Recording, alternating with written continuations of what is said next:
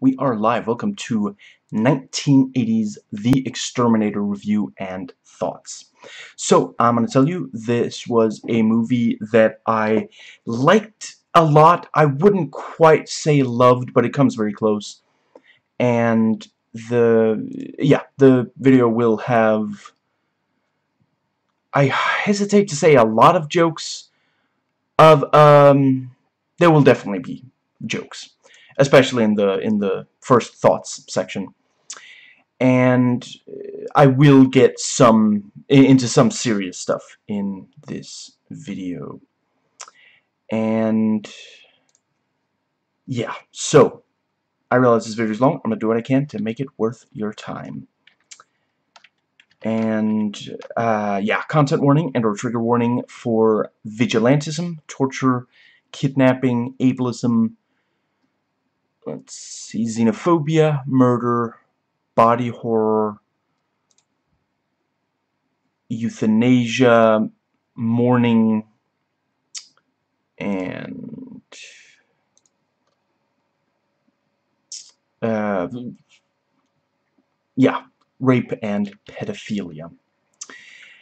And yeah, so the movie is rated R, and so is this video, and this is one of those movies, there aren't any details on the MPA, uh, the IMDb, for why the MPA rated it the way, but yeah, I would definitely say it's the violence, there's some sex and nudity as well, and, and some swearing, but primarily the, the violence. You know, it's a, it's a hard R. And uh, regardless of how you feel about this movie, I don't hate you. I don't think that you're, you know, if we disagree on something, I don't think you're stupid.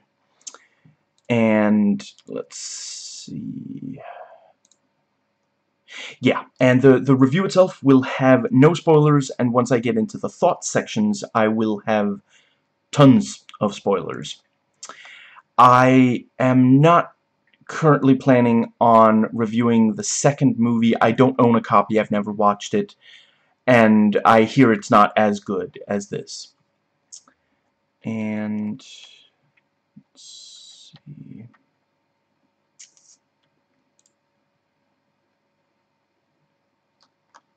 So that brings us to um, yeah, so since we're still dealing with Corona, I want to say during this video, is possible that I will touch my face? I want to assure you I washed my hands since last time I was outside, and I will wash my hands again before going out. Now, the version I'm going off for this video is the director's cut. I haven't watched any other version, and yeah, I watched it uh, once in 2004, and I watched it again, like, uh, I got done watching it like maybe 10 minutes ago and let's see so yeah. The plot I am just gonna quote some of the IMDb plot summary. A man's best friend is killed on the streets of New York City. The man Robert Ginty then transforms into a violent killer turning New York City into a great war zone. And the cop played by Christopher George is the only one who could possibly stop him so, the, yeah, um, five years long subscriber and frequent commenter Arts Cafe requested this in the comment section of my Punisher 1989 video, so here I am, and, you know, I try to get to all requests that follow the rules. I can't always get to them this quickly one week after the request was made, but not there, there are not that many reviews to read through for this one, so. I own this DVD because it was gifted to me by my friend Peter. I will link his channels in the description box. Peter, if there is one of your channels that I forgot to link to, please let me know in, in the comments, and I will add it. And let's see, that brings us to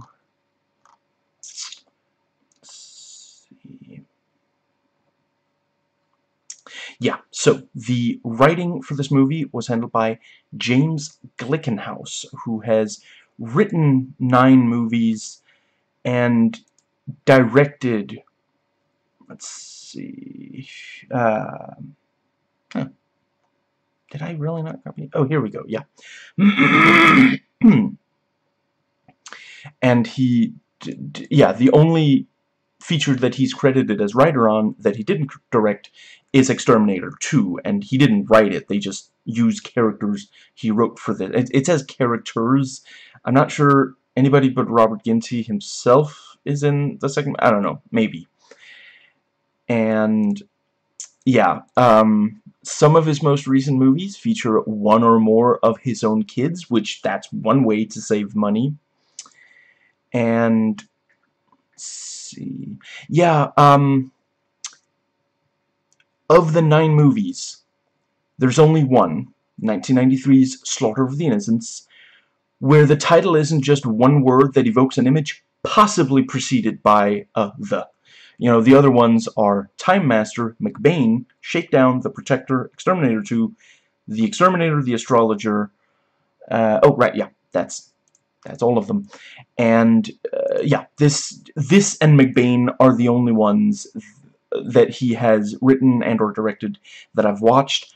I really don't remember much of McBain. I don't think it was quite as good as this. Uh, you know, but yeah, he definitely has a vision. He has a, a very clear, uh, what's the word, like um, director's fingerprint. You know, you can you can recognize his his movies. Uh, right, and yeah, he also did um, produce some movies, including some that he did. Ah, yeah, I'll I'll just I'll take very long James.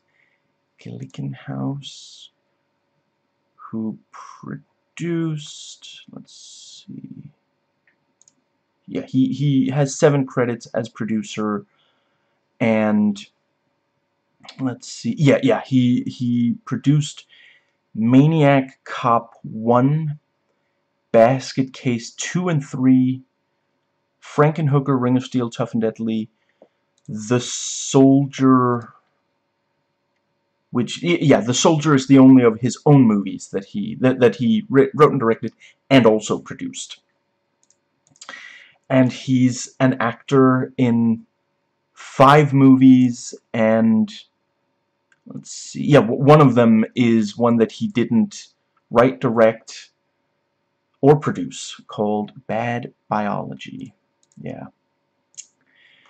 He does not appear in this movie although the the producer ah hold on.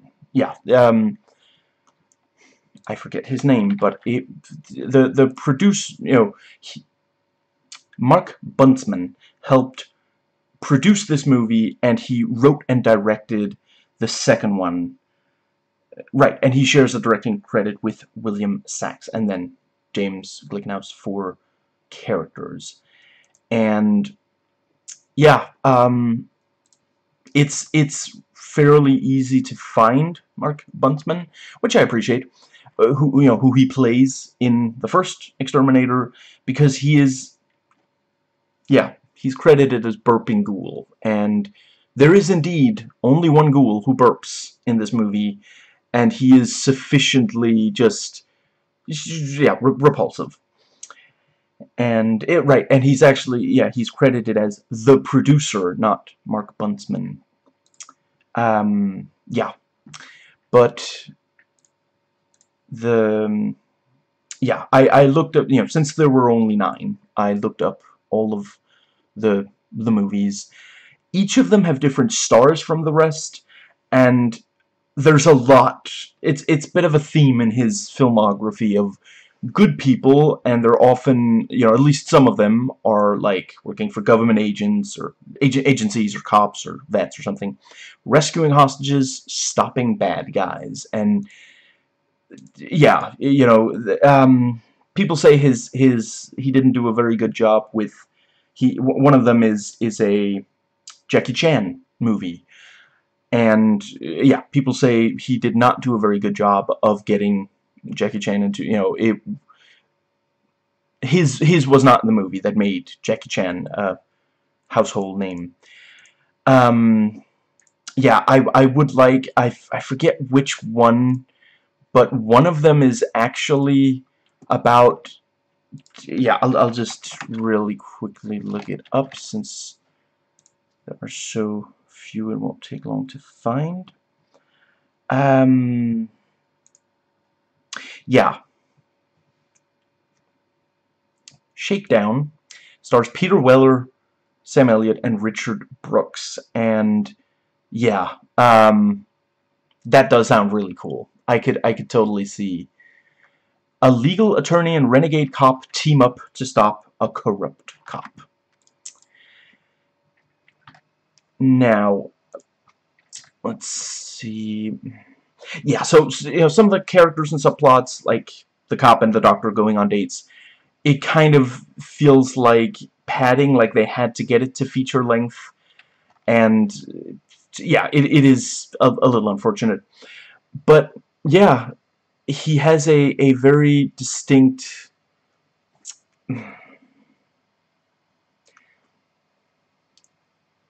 he's not subtle. And the the yeah you know you're you're either you're gonna have a reaction. You're either gonna you know be like cheering him on or you're gonna be like oh come on you know there's no nobody watches this movie it's just like uh, whatever. No his political views most of which I disagree with are very front and center and I respect that. Like, uh, I don't agree with, uh, yeah, I don't agree with them, but I am very much in favor of people expressing their opinions, and, you know, it doesn't, it doesn't feel like, like he doesn't himself quite believe it or something, and, you know, he, he knew that this movie was gonna, like, a lot of people you know, there, are there are a lot of people who hate this movie because they disagree with it politically. There are a lot of people who disagree, who hate it because they think it's too extreme in what it depicts, even though they might politically agree. And yeah, I, I really respect, like, making a movie that you know a lot of people are going to find really repulsive, that takes serious guts, and yeah. Now, yeah, so plot twists. I I'm not sure I would say the movie has a lot of plot twists. It's not really focused on that kind of thing. But yeah, I would I would definitely say uh, I don't I don't think there's a single like bad plot twist or ones that are just like too easy to figure out. Yeah. Now the direction, yeah, once again, Steam, handled by James Glickenhaus. You know, since Death Wish had already come out before this one in 1974, this could not claim to be the first movie where someone who is not a cop snaps and starts killing people that he feel deserve it. So instead it tops it by being much more brutal. And the the you know, and and uh, Taxi Driver had also also come out. James Glickenhaus does uh, has uh, said, you know, yeah, when when people said, oh, it's just Death Wish, he said that he hadn't watched Death Wish. I I don't know if he has in in the time since, and the the you know I I haven't watched Death Wish, so I can't say, but you know, I, I don't know which I would think is the better movie, but for sure there are differences between them.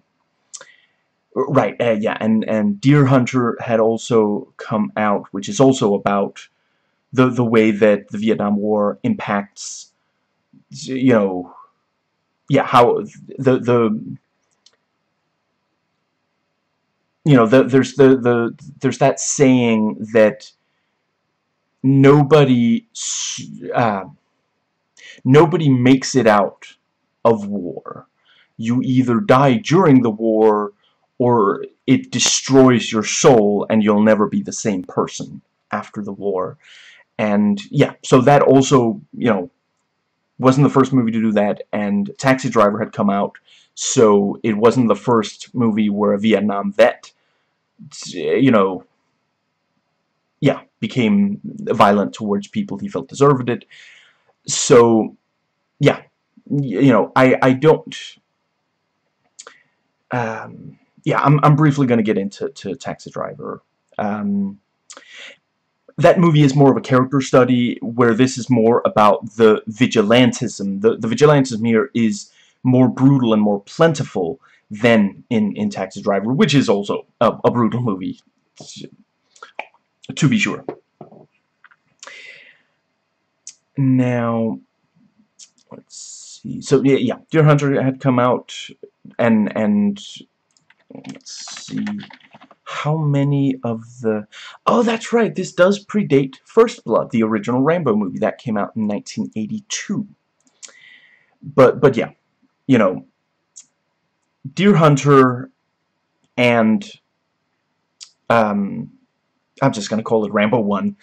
Deer Hunter and Rambo 1 are about how psychologically damaged Vietnam veterans, uh, you know, are and and aren't you know they're they're not focused on Vietnam veterans going out and killing criminals the way that this is and this movie you know it's not an exploitation film by accident it's an exploitation film because it means to be and you know I think a very strong case could be made that uh, Rambo 1 is an exploitation film, but I think I think you could also uh, argue that the people making it didn't mean for that to be the case. It's not it's not trying to exploit the Vietnam War, war. It's you know, it's trying to kind of help you know, help people realize what it's like because for a long time the you know, Vietnam War vets were really not given the the you know I I'm not saying that they you know the the there was I suppose it still persists um, there there's a, a myth about them being like spat on and such which apparently you know the the Ah, hold on. Did I end up putting... Did I really? Huh, okay. Um, there's a... Oh, right, right. The, the, yeah. Let's see. It is, yeah. Um, the Renegade Cut video, Rambo Hollywood Vietnam. I, I will link in the description box that talks about the, the, the that myth. Uh, you know, I'm, I'm not going to try to restate what he says there when, you know, yeah, I'll just, I'll just link you to the video itself. But, even with that said, the, the, you know, the Vietnam War veterans were not given the mental health care that they needed. And yeah, the the yeah, this movie is not so much about you know the the exploring the the the people. It's more saying the you know I I would say it's basically saying that it's it's maybe necessary. You know that's that's the point of view that it's espousing that a someone who has actual war experience and realizes, you know, only someone who has been in the Vietnam War could recognize that the streets of New York in 1980 were just as bad as, again, I don't agree with that, but that is what the movie is saying. And uh, you know yeah so so that's why he is cleaning up the streets and no one else is uh, you know it, it it took being a Vietnam War vet and having it close to him you know his friend is attacked. And yeah, and, you know, the movie manages to tap into a primal urge for seeing those who choose evil to face extreme retribution. And, yeah, this is not a big studio, it's basically an independent movie, and as such, it goes a lot further than big studios would at the time, because the, the big studios would be like, oh, you can't do that in the movie, people won't watch it then, and yeah, I will talk about how much money it made, so that was very much not the... You know, I, I suppose also, like, once you've made a movie like this, eh, you know, and people see your name on a movie, they're gonna think, oh, like that one, you know, it, you can't exactly put out, like, a romantic comedy. I'm not saying there's something wrong with romantic comedies, you know, from, from this, which makes it interesting that, like, at least one of, like, I feel like the last movie he made was like straight up a kids movie. I'm gonna really quick check. Yeah, PG-13 1995 movie. Young Jesse travels through time trying to stop a bunch of evil virtual fight managers from destroying Earth. Yeah, cause cause 90s and people were, you know, virtual reality was a big that's that's kind of amazing that the, the virtual they're they're virtual but yeah, but yeah that's that's not an R-rated movie. I I am that's even if I hadn't already read the the rating based on that description that's definitely not. So so yeah that's it's it's pretty it's pretty wild that that after yeah, cause cause his uh, his production company Shapiro Glickenhaus Entertainment is the one that's behind the the R-rated ones as well. So yeah. And yeah.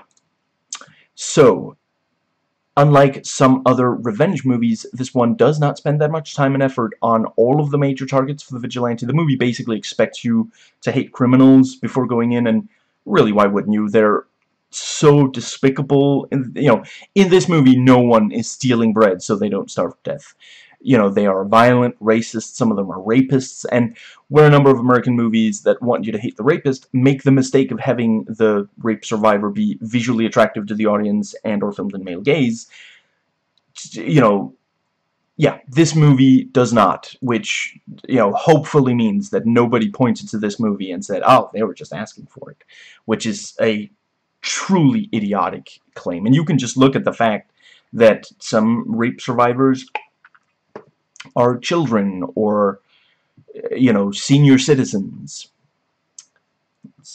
I'm, I'm not saying that no one is attracted to senior citizens but when people say oh they were just asking for it they're referring to young and conventionally attractive uh, women. A lot of the audio is dubbed in later because they were unable to avoid distracting sounds in the onset audio and yeah, I it wasn't something that really bothered me. I've I've seen some people, you know, some some people were really bothered by it, and yeah, you know, yeah, that's how some people will feel about it. You can tell it's an independent movie, and it is perhaps closer to Roger Corman than Robert Rodriguez, but yeah, it just feels real. Like, it's, yeah, I'll, I'll get more into that. Now, there are movies on lower budgets that look better than this, like one of my favorite movies of all time, 1978 Halloween. But that movie doesn't have the gut punch that this does. A lot of the movie's gore is implied rather than shown. Now, this was likely because of the budget, but it really works for the movie. The, the implication is so strong. Like, there was no time in this movie where there was and and it's not it's not like left up to audience interpretation whether or not it happened. No no no. For sure it happened. We just don't see gore effects uh, a, a, lot of the time. Some there, there is some. Yeah. But the the um uh, there was a what was the thing? Let's see um, right, yeah, there was never a time in this movie where, you know, it implied violence and I felt disappointed that I didn't see it. Like my mind made up for it as you know that that's the that's the idea and yeah it, it absolutely worked and yeah a lot of the logic in the movie you know basically only makes sense if you agree with the politics and yeah you know one you can definitely poke holes in yeah and let's see. Right, so I have some critic quotes. Too much of the film is the cop going on dates. In 1980, New York was extremely crime-ridden, like the film shows. And then some others say, in 1980, New York was assumed by a lot of people to be extremely crime-ridden. Films, including this one, reflects that misunderstanding. I haven't been able to find any clear sources that that are definitely, you know, I, uh, it's one of those things where I really wish that the people who make the claim make it clear, you know, uh, I know I myself am not good at this, but we got to get better at sourcing claims like that, that are, because that is a very provocative claim. Let's go with that. That's, you know, saying that is, and, and the movie makes a number of uh, provocative claims. But yeah, the, the, um, let's see, there was the, um, I wish that the people who made the claim all cited either where they heard it, you know, and, and or maybe made clear whether or not they themselves lived in New York in 1980, because, you know, that's also the thing, like, we used to just accept the, the, most dominant narrative. We we didn't used to question things like, and and maybe that's why reviews of this, uh, but because yeah, you know, movies just made claims, and you just kind of had to go along with it. Eh, you know, they didn't necessarily examine, and they weren't necessarily critical of the claims that they were making. Now, The Exterminator makes for a perverse kind of love letter to some now mostly vanished or nearly varnished areas of New York. The director hates the boring transitionary shots between scenes of characters going from one place to the next, so there aren't really any in this movie, which makes some people say that the movie doesn't feel like this like one scene leads into the next. And for sure that that is something that I also felt like especially like after a while of this, like the some of the movie is devoted to him getting revenge for the things that, you know, for, for what was done to his friend. However, not all of the people he goes after are related to that. You know, the, the um, let's see. I I think at least some of the time he is going after a specific gang and it was that gang, some of the members of that gang attacked his friend. You know, so, it, you know, he wants to get rid of that gang so they can't hurt anybody else. You know, similar to how Batman fights criminals so that no criminal, no, no mugger ever kills, you know, the parents of, of a child. Uh, you know, the way that happened to Batman, and that is something I, I reference Batman in my 19, in my review of the 1989 Punisher. I want to say I thought, yeah, I, I, that's something I quite like about the 1989 Batman, the way that the movie,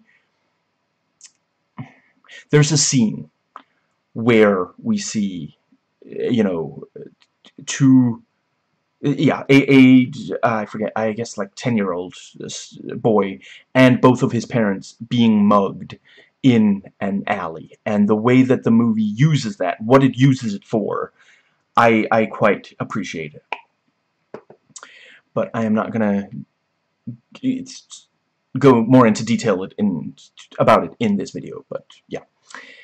Exploits, in a good way, both vigilante flicks and Nam flicks, and it's about honor, duty, and fidelity to one another, which, as you can probably guess, are, of course, military uh, ideals, you know, that's yeah. And yeah, so the the opening of the movie before we, the audience, are able to get our bearings at all, the movie shows us multiple massive explosions. So we're on the back foot immediately. And I think the idea is, you know, it's it's supposed to put us in the mindset of someone traumatized by the Vietnam War. Like, essentially, the moment the film itself starts running, which for the the DVD, you know, I was like, okay, so ready about ready to start the movie playing. So I go into the, you know, there's not a, you know, I have a the the DVD I have is is very basic. I think there might be. I'm not sure if there are DVD. I, I feel like I've heard that there are Blu-rays that have a lot of, of um, special features for this movie. Mine only has the trailer. So I went into, but, but one thing it does have is that on the menu, you know, um, the, yeah, I guess if you don't know what you're looking at, you can't necessarily tell that I have the DVD cover behind me, but basically the cover is of the ah what's the word? It's it's a it's a guy with a flamethrower. And the the flamethrower is you know there's there's a there's some flame from it. It's not like a huge flame but yeah there's a little flame from it. The DVD menu I'm, I'm not sure if it's the exact same image but something very similar.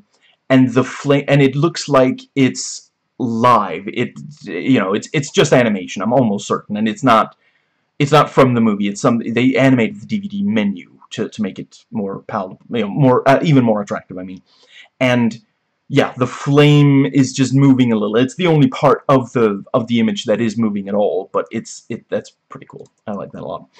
And yeah, um, basically, I went into the menu to, for the for the subtitles, which I already always have on because I'm Danish.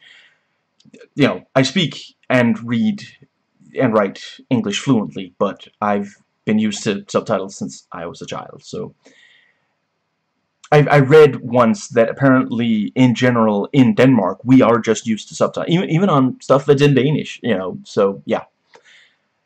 And the, the, yeah, you know, click for subtitles, click Danish subtitles, and the moment I click Danish subtitles, the movie just started, and the explosions. So that was, yeah, like, I knew that the movie started like that. I didn't know that the movie would start just by me choosing subtitles. But it makes sense. You know, there's nothing else. It, it doesn't have alternate audio, for example. So basically, you know, yeah. The, the, yeah, it has the, the, the trailer, the, the subtitles, there's a play button, and it does also have the, ah, what are they called? Uh, scene selection. So I guess they're kind of figuring if you you you either get subtitles or scene selection, but not both. But but yeah, um, it works really well. Like once they get back to America, it's a lot more calm at first. But the the you know yeah, I I read some one one there was one negative review where they said that the Vietnam War prologue felt like an afterthought. I mean, they're entitled to their opinion, of course, but I completely disagree. I, I really feel like, eh, like, if, if you...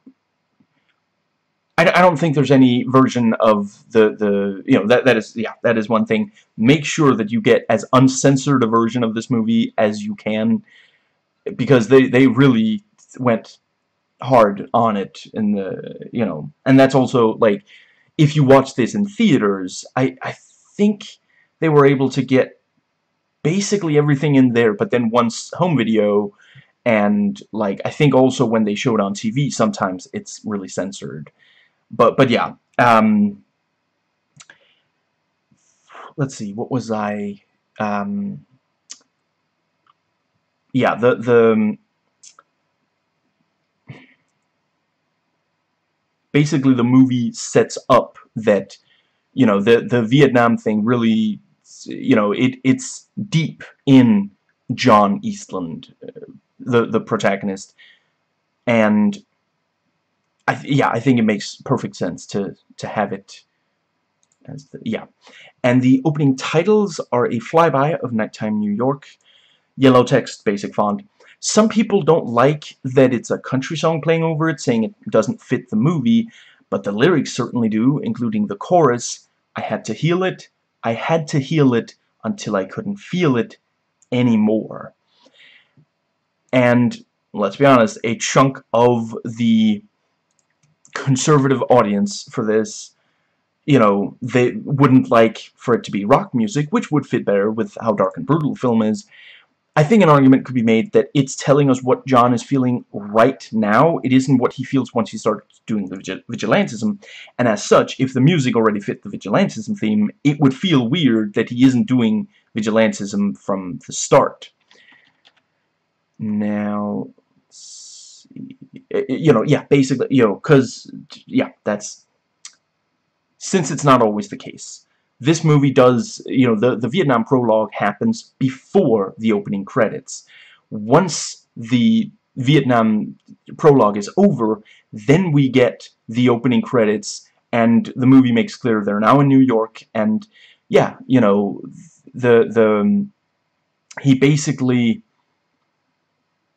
he isn't feeling as much of a drive for violence at the start of the New York scenes, and the movie makes that completely clear. Like, there's actually a scene very early on where he and his friend Michael, Michael, yes, Michael Jefferson, they're like, they're feeding birds, you know, the, the, it, it couldn't be more benign and friendly and, and just like, you know, because the movie could easily have had, like, ah, oh, you know, he still feels like he needs to use a gun, so he goes to the range instead, or, or something, you know, but no, he specifically, like, he isn't violent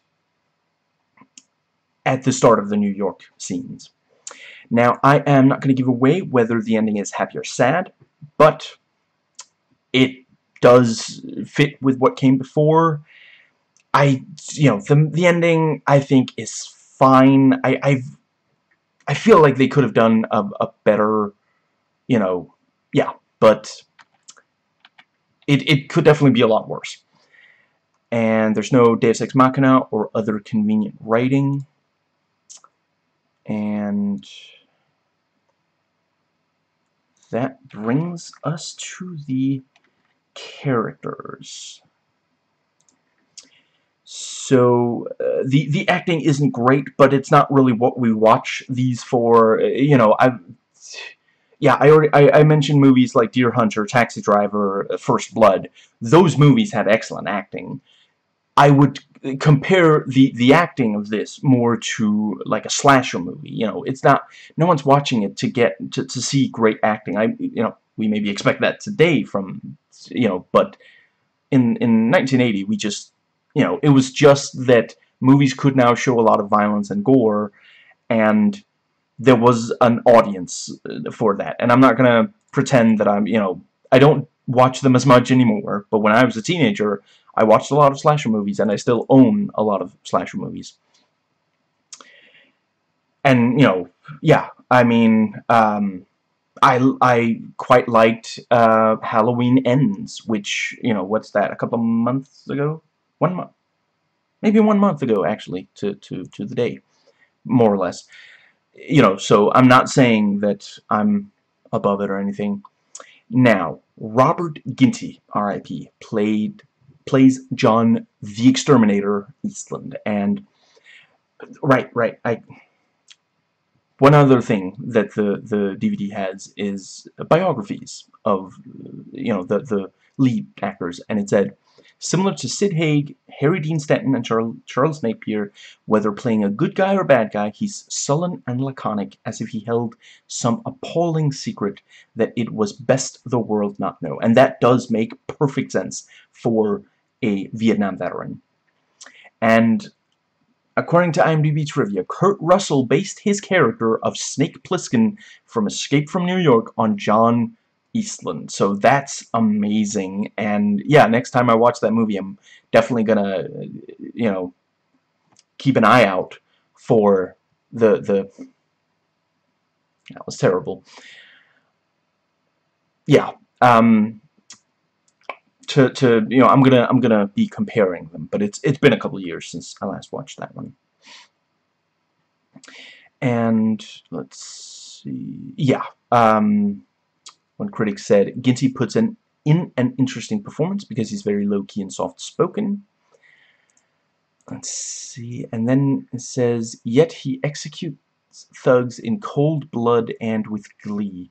I mean, if we're looking at the methods, yes but I didn't really, like, gleeful, I wouldn't release it. Not, not from the performance, but yeah, from the actions. And, you know, apparently partially inspired by The Punisher, and, like classic versions of Frank Castle, John Eastland returned to New York from Nam and traded one war for another. And that is, like, it's, it's, I do still like the 1989 Punisher movie, but if we're talking like an 80s movie with a with a yeah, this is in some ways this is a better Punisher movie than the 1989 Punisher. And one critic said 80 every 80s action film starts in Nam. And Christopher George, RIP, played plays Detective James Dalton, who is looking for the exterminator. He's dating Samantha Eggar as Dr. Megan Stewart. And I've, you know, I just want to quote some, some other critics pointed out her role is pretty thankless. And it's like, you know, she was, she was in The Brood. It's not, you know, she's not someone that, like, I mean, I it's been years since I watched The Brood, but I remember her as being quite good in that. Uh, you know, the the um,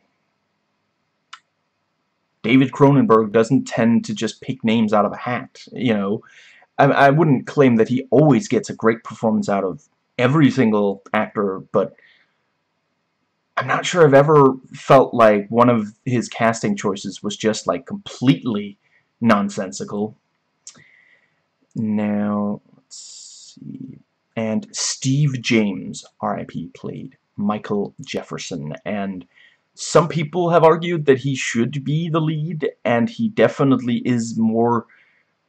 Like, he's, he's extremely convincing as someone that actually... You know, I, I honestly... I don't know him from anything else, but he was apparently, like... Let's see... Um yeah, I'm gonna quote the, the top of his IMDb bio says, Steve James was often cast in action movies as the hero's sidekick, despite usually being a better actor and fighter than the star. Yeah. And I...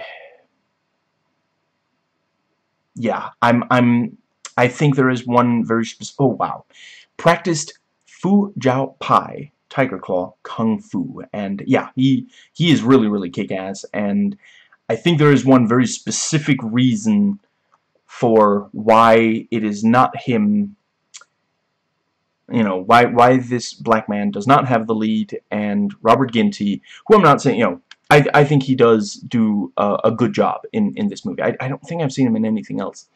But I do think there is one very specific reason for why the black guy who kicks ass does not have the lead role, but the white guy who is not quite as convincing as an ass kicker does have the role. I'm I'm going to I I uh, I there there are aspects where I disagree with the late Michael Jackson and one thing that I do, yeah, I, I don't think that he was completely factually accurate when he said, it don't matter if you're black or white. And, you know, I, I would say in the 80s, but sadly still there's, there's a lot of resistance from, from a lot of white audience members when black people are given prominent roles and yeah you know and, and it's not that there was nothing but it was usually then then you have to go for stuff like blaxploitation which I am not qualified to to speak on I I'm not sure I've watched a single one. I haven't been avoiding them. I just, you know, yeah. And, right, um, Mark Buntzman is also, has, has also passed in the, in between. And apparently Samuel Jackson appears at some point in this movie, but I honestly yeah, I, I really don't know what I'm, I'm gonna very briefly see if there's um no doesn't seem like the the um, doesn't seem like it's here on YouTube the the um, yeah a, a clip where you can see where he is you know, if you if you know if you have the time code, please put it in the in the comments. And that brings us to the dialogue. So the line "I'll be back" and used as as a threat is actually in this movie, and this movie came out before The Terminator, so this may well be where James Cameron got the idea. Certainly I see in The Terminator a lot of the Harlan Ellison Outer Limits episodes, Soldier and Demon with the Glass Hand, so, you know, James Cameron is not above, uh, you know, getting ideas from other places a lot of the dialogue isn't great, but, you know, like with the acting, it's not really what we're here for. The writer-director basically, like, a lot of the time seems to think of dialogue as a necessary tool and nothing else. You know, it, it rarely, but not never, gets across, you know, yeah, like, there's, there's, uh, hold on. Let's see. Yeah, you know, there, there's some there's some characterization, exposition in the dialogue, but it's not necessarily particularly written or delivered well compared to the the shock effect of the vigilantism, which clearly is what James Glickenhaus is more interested in, uh, you know. And let's see the yeah, there are, there are eight entries in the IMDb quote section, and all of them are good. And yeah, the cinematography was handled by DP Robert M. Baldwin. And yeah, they, they worked together on... Oh, wow, I guess... Huh. Yeah, so other than this... Right. This, The Soldier, and McBain, they worked together on... And he did also yeah, he returned for the second movie, and he, you know, yeah, he was DP on Basket Case 2 and Frankenhooker, so, yeah, they must have liked working together, or they would not be, they, they must have had a good working relationship, at the very least. Maybe they didn't necessarily, I don't know if they, you know, like each, yeah, like, they're both still alive. Uh, you know, I don't know if they like each other, but certainly they, you know, they, they respected each other's work methods, you know, so that, yeah. It's, it's not like this guy couldn't have worked on other exploitation movies in the 80s. There were... An argument could be made that there were maybe one or two other exploitation movies in the 80s other than other than this one. But don't hold me to that. The... Yes, I'm being sarcastic. And yeah, one one critic noted it's cool about the something cool about the film were a couple of shots and edits that were quite unique. And yeah, I think I'm gonna I'm, I have things to say about the cinematography, but they go well with the editing, so I will move ahead into the editing, and yeah, this was edited by Corky O'Hara, who only edited four movies between 1979 and 1986. Um, it's not that the, the um, that Corky never again worked. In, you know, they're credited as executive in charge of post-production on 2002's Love Liza and special thanks on The Prince of Egypt 1998 so so yeah but yeah um, I honestly don't know why the why they didn't edit anything else, but they did also edit Christmas Evil, which from that title I'm going to go ahead and guess is also an exploitation movie. Yeah, the a lot of the scenes in this movie are filmed with just one camera setup. There's no cross-cutting, close-ups, coverage. Again, I'm not saying all of them, but a lot. And there, there are several long takes, which really makes it feel like you're actually there. It's almost like a documentary. You're watching something that actually happened, and they happen to, to have a camera on it to make sure people knew that it happened, you know there's actually there's this one scene I I I neglected to time it. I I I it's somewhere between half a minute and two minutes long. And it is done entirely in a single take.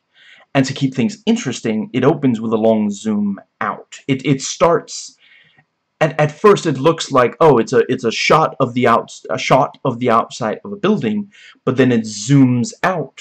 And once it's zoomed out, zoomed out enough, you see that the camera was, you know, it was filming through a window, and once it's zoomed all the way out, it's, you know, focusing on the characters in the room who were already talking before the camera had zoomed out, and it never cuts to a close-up, but th there's two characters in the, the shot, and once it's zoomed all the way out, they're basically on opposite edges of the frame.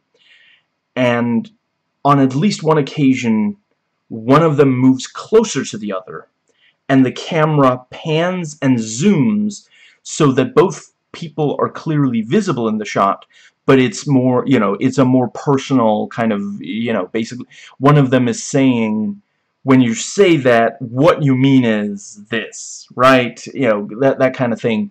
So it makes sense to have the the shot closer and yeah um very nicely done on you know re rehearsing and figuring out the timing and everything because there's no like I mean maybe it wasn't the very first take but nevertheless like they have a handful of lines.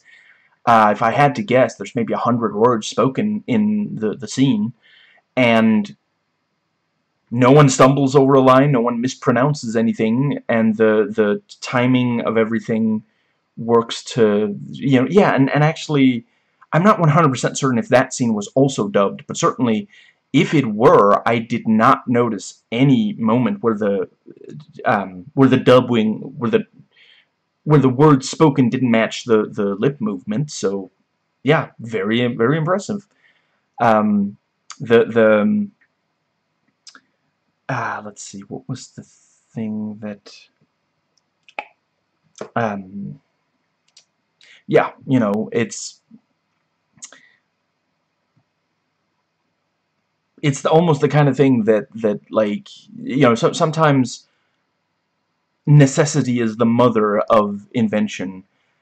And yeah uh, limitations can really make you you know and it wasn't they didn't really try to limit things based on how brutal it was but they did you know only have so much money for it. So yeah, you know the the and and yeah, as as a quick example, like it if they only the the more the more footage you shoot, the longer you have to spend on it. The more different angles, the more time. And you know, for that time, you have to pay the actors, you have to pay the the camera, you know, all of this stuff. And once you get into editing, like, if all you have to do is grab the right take and stick at a certain point in the movie, that's substantially easier than cutting back and forth. Uh, you know, especially back in 19 in, in 1980, like, editing was analog. Like, if you've never tried that, that is not something I, I have, you know, not not that I'm old enough, but I have worked with technology old enough that yeah, um, it, ah, I should say, to be clear, I have not edited on an editing setup from 1980. What I mean is, I once edited a movie where all I had were two VCRs. you know, on one VCR was all the footage we shot, and the other VCR was the final, you know, so, so yeah, I had to, every time, every footage, all, all the footage that didn't go into the final movie, I had to just, you know, either let play or just fast forward through, hit record when there's footage I want in the movie, and yeah, for that movie, we also made the very wise choice of using long takes and moving the camera and zooming and such to make up for not uh, cutting. Because when we you know, when we started shooting we knew that that was what we were going to be able to edit on. So yeah you know if you're editing today uh, you know you're you're very likely editing on digital you've got fancy software and you know I've I've also edited some with that trust me, it's significantly like you you you know some some people say, "Oh, I wish I was just born, you know, X amount of years earlier." Editing on analog was not yeah, it was it you know, if you didn't really either really really love it or really really need the money, it's not something that you chose just because, you know, eh, whatever, it's a thing to do. So, budget and box office. This movie had a budget of two million, and for sure, there are times where you can tell they could not afford more of the, okay, yeah. But they did also manage to put a lot of that money up on screen. You know, it's not a movie where they wasted a ton on stuff that didn't really add that much. Yeah, but it made $35 million in in box office, which let's see, so that's 17 times, almost 17 times its own budget, and yeah, you know the the the people have spoken. They wa this was what they wanted at at the time for for sure. And yeah, so this was filmed. Uh, Uh, let's see. Yeah, various places in New York and some of it was shot in California. The the Vietnam sequence was not shot in Vietnam, even though apparently like the end credits claims that which is I mean, I guess there weren't that many fact checkers back then, so yeah, but no, it was filmed, let's see, it's called Indian Dunes, Henry Mayo Drive, Valencia, California, USA, not Vietnam. But yeah, I really don't begrudge them for not going to Vietnam when they, yeah, but they managed to find several really cool settings. Like, there's this one bit where we see a character in a in a phone booth, and like all around them, I I I forget exactly. Yeah, one one critic joked, "Oh, it's Mad Max all of a sudden," because there's just everything around is just completely you know it's it's a yeah there's like there's like a building that's collapsed right by it so yeah. And it you know that helps makes make the movie's case that New York was you know a hellhole at the time. And let's see then you have the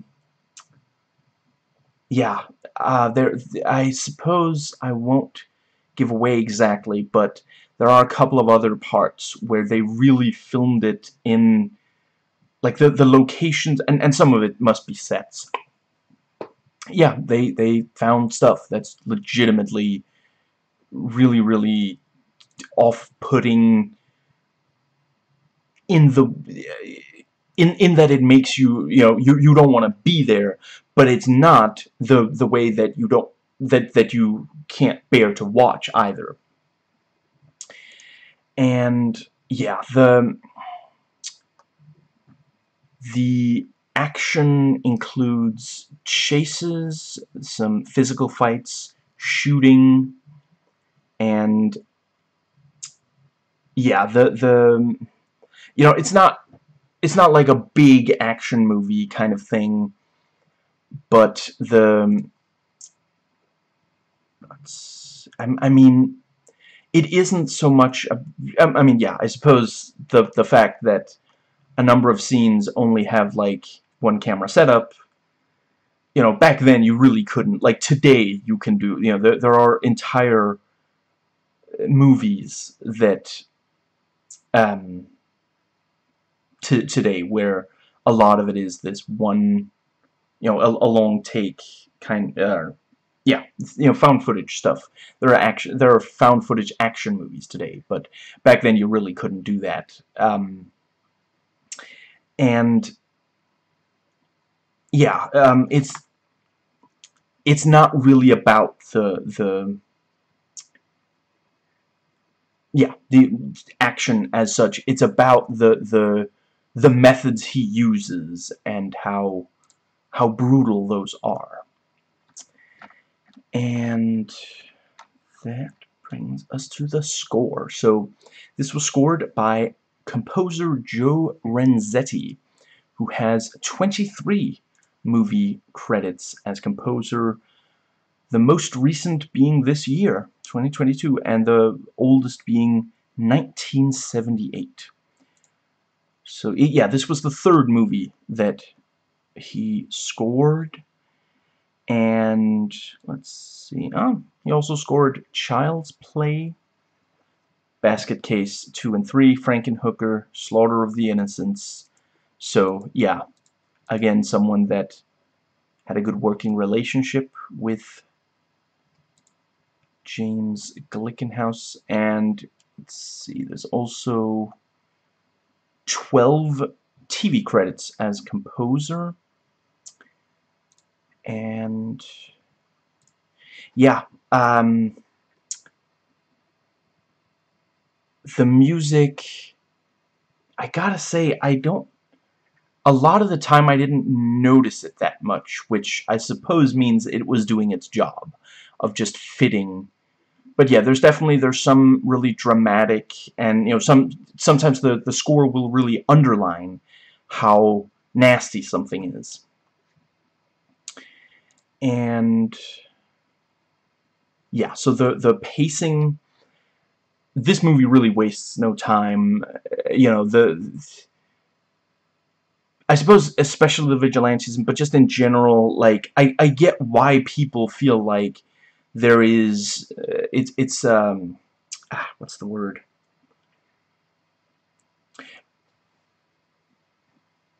There probably is too much in the movie of the the cop and doctor going on dates but it isn't actually a like if you sit down and time it it's not a lot of screen time that's devoted to it.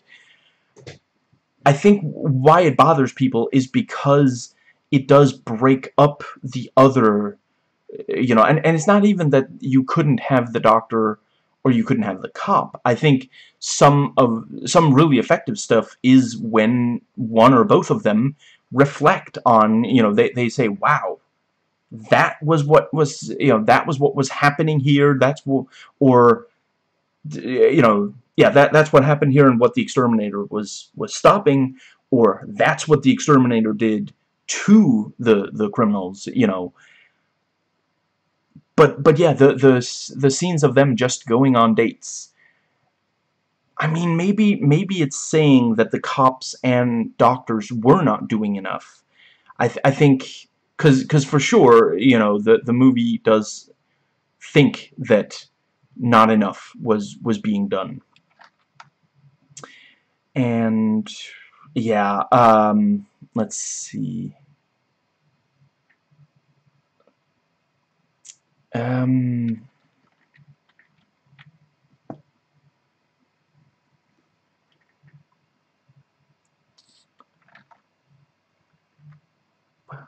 yeah, yeah, that is what I have to say about the...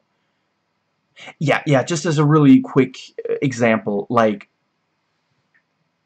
you see, you see the attack on, uh, you know, on Michael, then it cuts to John relaying to Michael's wife what the doctor said about the uh, you know his his condition and such which kind of makes you wonder why they didn't say it to her instead of to him since he's not actually related and he's not like you know it, uh, it would be one thing if if Michael was a child and John was the legal guardian. But no, there's nothing, nothing legal going on here.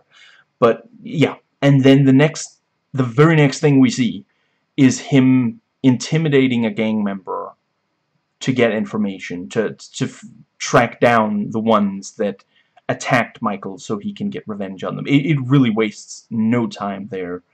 And, yeah, the largely it just, the, the time flies right by.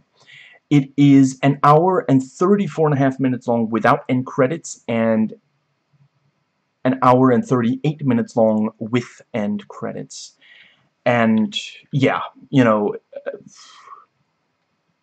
yeah, it's probably around 30 minutes. If, if you watch the first 30 minutes and you're not interested in what happens after, I'm not sure the movie is going to do anything after that that's completely to change your mind. Now, the best element of this movie is definitely how brutal and unflinching it is.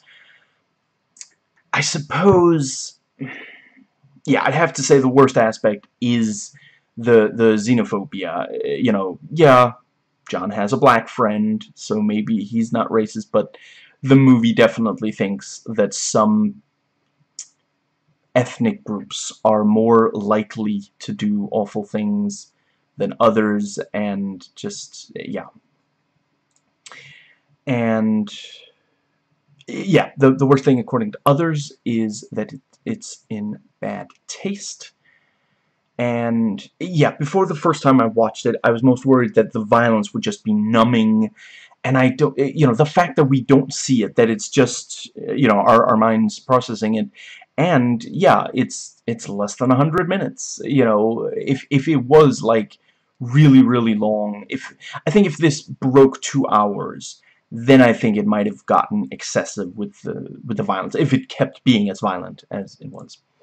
And yeah, the thing I was most looking forward to before the first time I watched it was the you know catharsis of seeing bad things done to bad people and yeah the movie definitely exceeds exceeded my expectations. I suppose I can't I can't guarantee it that that that you'll have the same reaction. The trailer does give at least a little too much away but this is you know you can't really give a, a, good idea of what this movie's like without spoiling. And yeah you know if you like the trailer you're much more likely to like the movie than if you don't and the cover and poster don't give too much away although don't go into this movie expecting him to just non-stop be wielding a flamethrower although apparently he does a lot in the second movie so you know maybe they they were like responding to that feedback. And you know the, the, yeah this was this came out at a time when covers and posters just didn't give you that good of an idea of what the movie is like. It just they had a really memorable image that yeah. Now let's see. Yeah, um I did not actually find all that much here on YouTube. Uh, there were three clips. Let's see. Was there really only the one trailer? I'm, I'm just going to double check because I feel like I found... Was there not a modern trailer or fan trailer? Maybe I'm thinking of a, a different movie. Yeah, I guess I was. Okay, yeah. The the the trailer two TV spots, one tribute, six review analysis, some of which, like, let's see, the...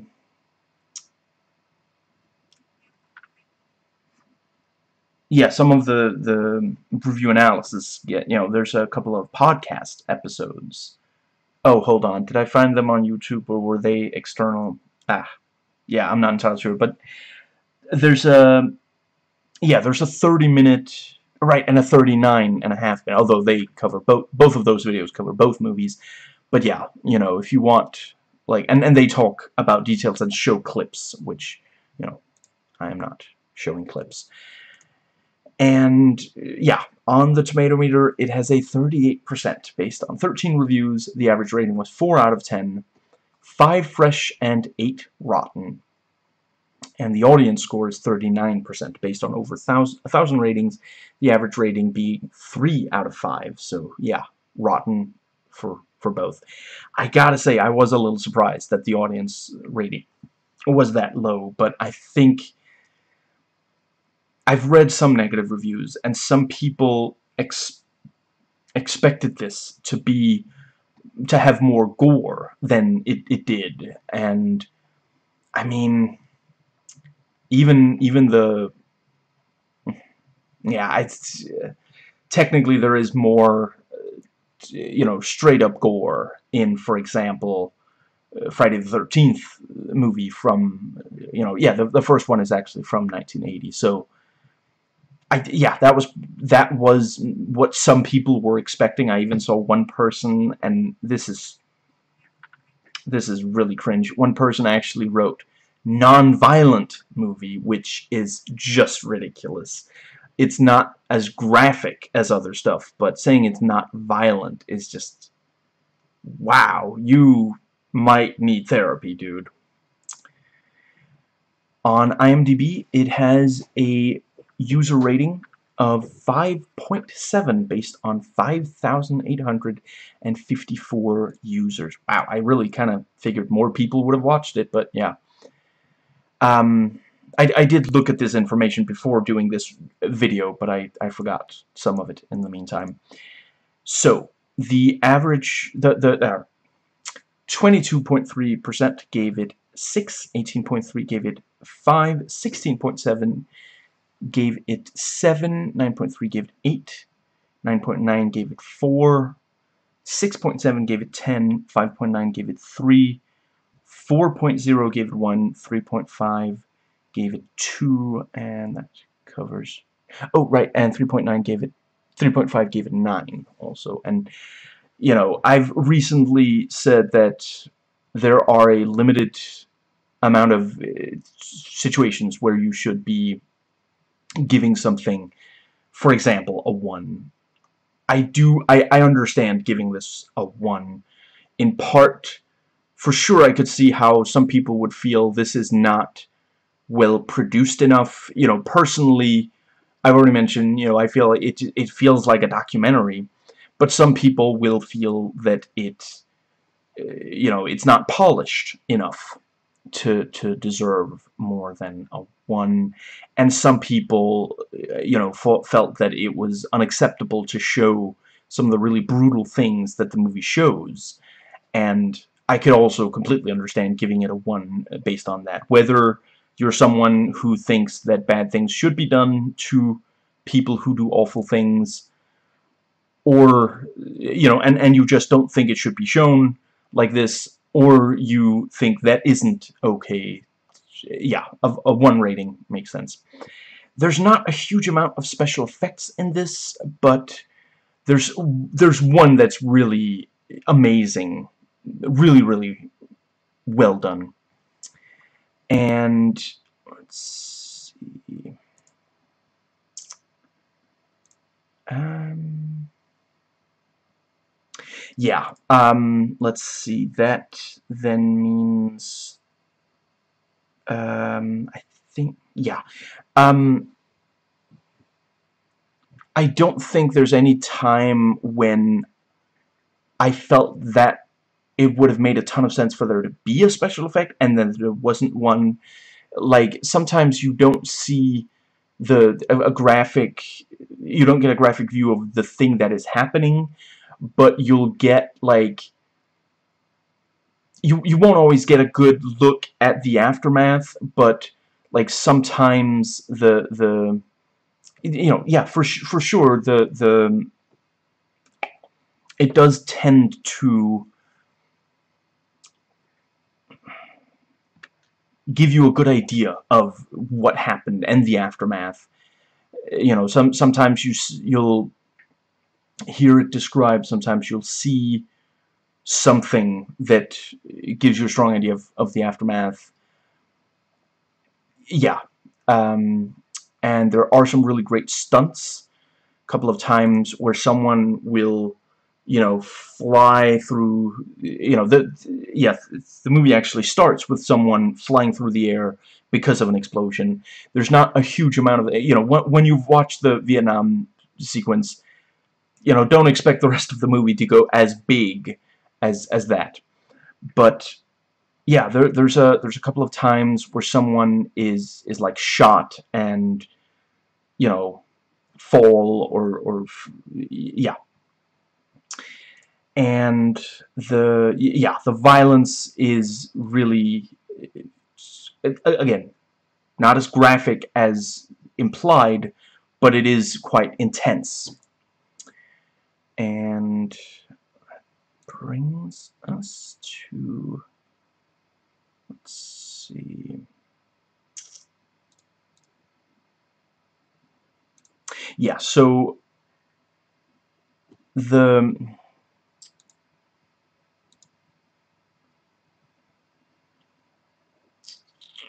yeah you can stream this on Microsoft and Prime.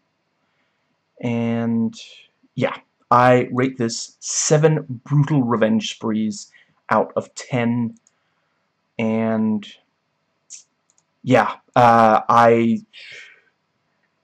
I I don't think I'll be watching it again today but maybe in a couple of days maybe in a week or something I'd be you know I'd happily watch it again. And that brings us to the spoilers sections, starting with notes taken while watching. Yeah, the budget does really, really show at the start of the film in Vietnam. Very effective decapitation. The fact that his mouth move like it, it looks like he's about to say something or, or scream or something and his eyes I think also move a little or maybe that was Maybe that was my imagination filling in, but that really makes it horrifying. Like he he felt the like his his brain just barely had time to process what was happening, and that's really just yeah. I do agree with those who said that it's a bit too easy for the the slice through the neck and bone. I think it would have looked better if it looked like it was very difficult to and maybe even took more than one mach machete strike which I think should be like fireman axe hitting a door or something like tough you know the but it just kind of you know I, I saw at least one person say it's like a knife through a hot knife through butter.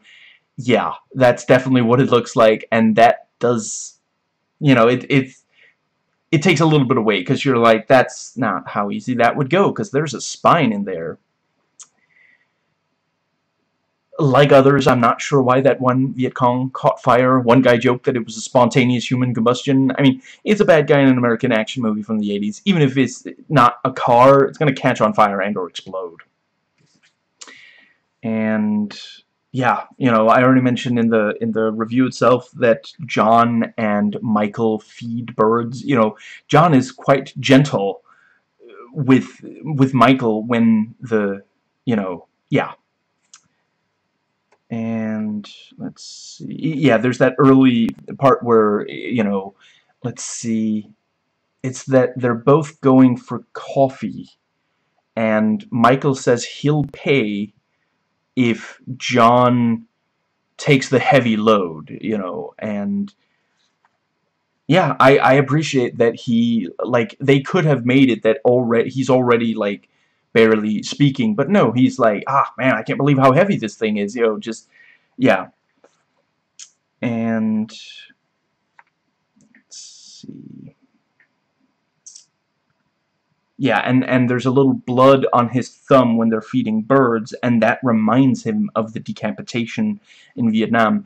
There, there's a brief flashback. Considering how rare it is for this movie to do these edits, I think it is significant. There's let's see, there's that other, there's another time where he shoots a guy and he has a flashback to shooting the guy in Vietnam. Uh, I forget if there are more than, there might be one more, but the, yeah, because that was more difficult on this old analog editing setup than just these all, all this time where it's just one shot, one scene, kind of just, yeah, so, yeah, it does seem like, you know, he hasn't really recovered mentally, emotionally from Vietnam, and the, the kind of, yeah, yeah, I think it's significant that it's just, it's blood on a thumb, like, you don't, you know, why is, um, let's see, what's the word? if if the if it's that some guy got uh, a cut on his neck that reminding him of the decapitation that's like oh yeah I see what you mean. It's like oh that could have gone worse kind of thing. But blood on his thumb making him think of a decapitation. And you know I, I think I saw at least some people saying that's kind of goofy why why does that tiny little thing? And I guess it's that the birds pecked a hole when it was feeding or yeah I don't know maybe it's like the spontaneous human combustion in the movie. It it kind of it happens when the movie is trying to do something edgy, you know. Anyway, the the yeah. So I feel like that means that it's still like it's right under the surface with him. And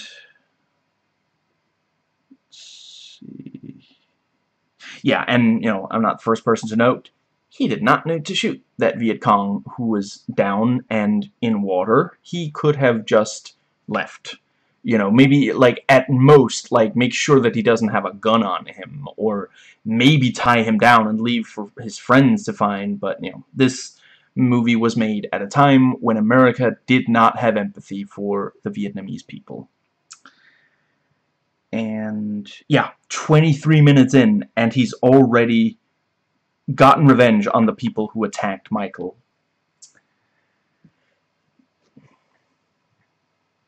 And yeah, and I think it's significant the the line he has when he talks to Michael, and it's actually you know he basically he only really opens up to Michael after you know and and then there at the very very end the the the cop. But yeah, you know he's like he he's talking to to Michael, nobody else can hear, and he says it feels like we were back in Nam. It didn't matter if it was right or wrong. I just did it. And we see the attack dog right before the stake date. So when Michael is attacked, John is attacked, we actually knew that, the, yeah. And the mob guy's man checks the bathroom, but John still gets him, having hidden in the trash. And, yeah, as others have pointed out, like, how long has he been in there? Because he didn't, like, you know, we don't we don't see him like get in there right after the actually hold on. Was he watching? We see them arrive at the restaurant and this is a movie that doesn't show a huge amount of like that's a that's an establishing shot. Like someone's feeling fancy. Wow did they did they find you know did, did did it turn out that that one of the they thought it was a one but it was actually a hundred dollar bill and they were like let's go wild here and and yeah, the I think I think he might have been standing there watching as they arrive. So yeah, you know the the and the guy is you know aging. He even says you know I have to go to the bathroom before I can start eating. He doesn't put it quite that delicately, but I choose not to repeat his exact words. But but yeah, you know hiding in of in a I, I'm not sure I forget if there if a trash can is ever used, but in some of the later Hitman games you can hide in, you know, body-sized containers. And, you know, he uses a tranquilizing injection, which may have inspired Dexter. And I realize I'm not the first person pointing that out. And I quite appreciate he demonstrates the meat grinder to the mob boss before you know I, I had forgotten that but but yeah you know we we see the meat grinder in effect twice you know first he he grabs he he comes in with a piece of meat, throws it into the grinder, pushes the button, and then it, eh, you know, makes the, the minced meat. Does that mean that Ginty has been mincing? And the, the then you have the, um, you know, yeah, later you see a massive amount of minced meat. And, and yeah, I don't know either why the meat is, you know, there's no, there's no clothes in there, and it's like, I mean, you could have had, like, I mean, we see we see him waking up, and he's, you know, he's he's chained up above, you know, you could have had that, had it that John, you know, took his clothes off. That also really sells the fact that no, no, no, you're not leaving here. This thing, you know. But I guess he was. I think he did maybe claim that he was going to let him go if he told him everything. But yeah. And yeah, the mob boss gives up almost all the information about breaking into his house, and you know he he says that the safe is to the right, which you know everything in the movie is to the right, so not sure he needed that clarified. And yeah, the attack dog is basically the only thing he doesn't mention. And I realize that it's supposed to be that the the attack dog doesn't can't can't tell that he's there until he accidentally kicks the water bowl. But like dogs have a way better sense of smell than humans. In my head canon, that dog was just like okay, I don't know this guy, but live and let live. Am I not merciful? As long as he does not fuck with my sustenance. Whatever. Boss hasn't fed me recently, anyway. And let's see. Yeah, the the cop goes in to talk to the the guy whose face was bitten off by rats, and his like his face is completely covered with with bandages. So either that's the guy who indeed had his face chewed off by rats. Or maybe that's the Invisible Man. And yeah, I think, you know, I already mentioned the dates are probably to say that, you know, oh, these cops and doctors are not doing their jobs. You know, there's even that, uh, hold on, did I copy that in, I forget if I, um,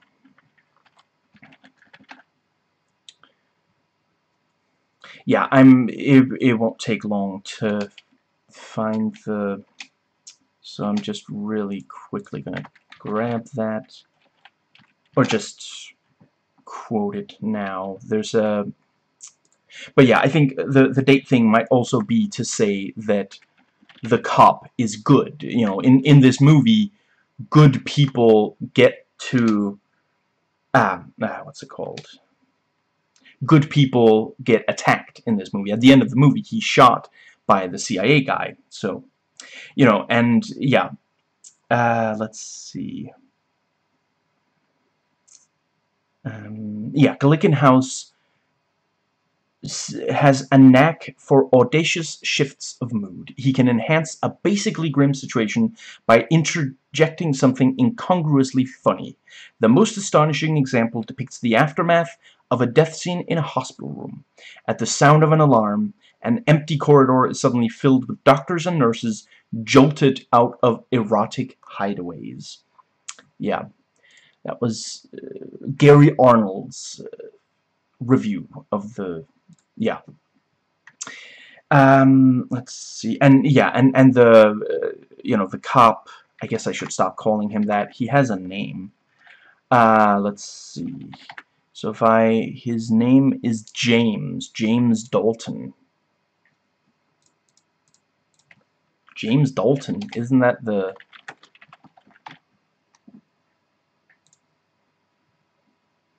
I guess I'm thinking of, uh, no, yeah, um, yeah, I googled James Dalton and the top, the, the top hit is Wikipedia and yeah, one of the James Daltons. The the one that it yeah, it also writes something about a, a footballer who lived from 1864 and then it says question marks. So there's some chance that somewhere out there there is a footballer who is that old. That that would be pretty cool. Um as long as he wants it that way. I mean, anyway, the first one it lists is the criminal, the captain of a street robbery gang in 18th century London. Oh! See, I keep... so that's not one of the Dalton brothers then, I guess. Um, yeah, because that was the American Old West. That was what I... But maybe... Oh, yeah, yeah, none of them were James. That's right. But yeah, so...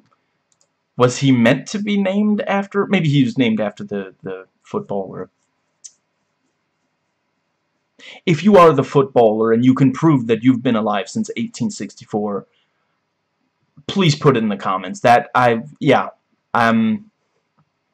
I mean if you live right, they say that you can greatly extend your life as long as you're not in a 1980s exploitation movie.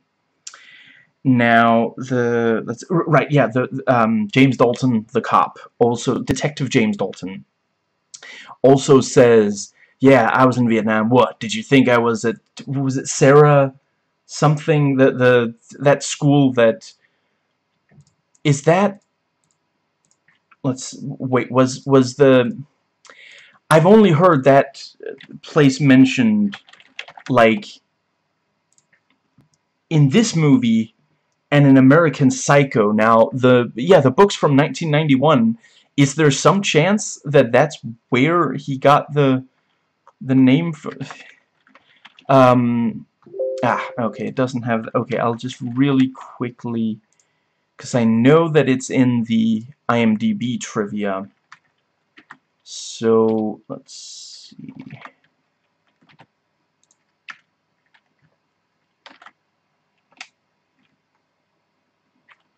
Hmm.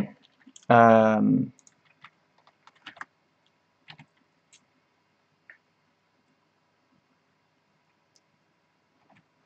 yeah. Uh, Wait, is it maybe... Here we go. Sarah Lawrence College.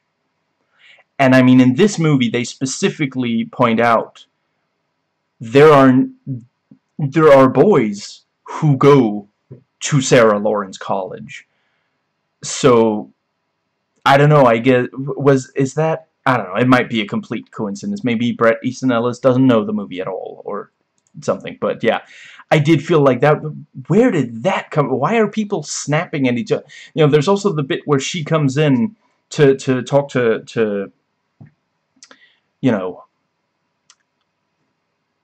rat meal, rat face, rat meal face, and the you know the doctor's like, oh, I didn't think you were next of kin. And it's like he's a cop though. I mean, you know that, and and she does also explain. She's like, ah you know, I've been working so hard, which is then kind of contradicted when all the doctors and nurses are having sex in the hospital at the... Yeah, because that, that must be because they're on call, right? Because she said she had a night watch. Yeah. Which, I mean, is that supposed to... I mean, they responded to the alarm. It's not like they stayed there. I, I don't know. I feel like the if, eh, you know if you want to say oh the you know they they're not taking good enough care of like you know they should be watching patients or something. I I feel like that was handled better in I can't believe I'm blanking on the the name, but I know that it was a Kubrick movie, so it won't take many moments. Clockwork Orange. I think a Clockwork Orange did a better job at that kind of, yeah. But anyway, that brings us to, let's see, yeah, you know, basically John is the only good guy to survive, and apparently in some cuts he doesn't, you know, the the thing with the, you know, oh, he had a he had a vest on, that's why he could survive getting shot and falling into the water. Not that the vest itself is necessary for swimming. Anyway, the the you know, I, I don't want you to be so worried that you're walking around with a, you know, permanently with with a, a swimming vest on like that one kid in South Park. Anyway, yeah, you know, in in some versions we don't see the bit where he made it out, and I get why that would lead some people to think, oh, he did die at the at the end. Uh, let's see. yeah, so, um... I think a lot of people already know this, so I, I'm just I'm just saying it so that, you know, in case you were confused. The subtitler thought that the word chicken hawk meant gay.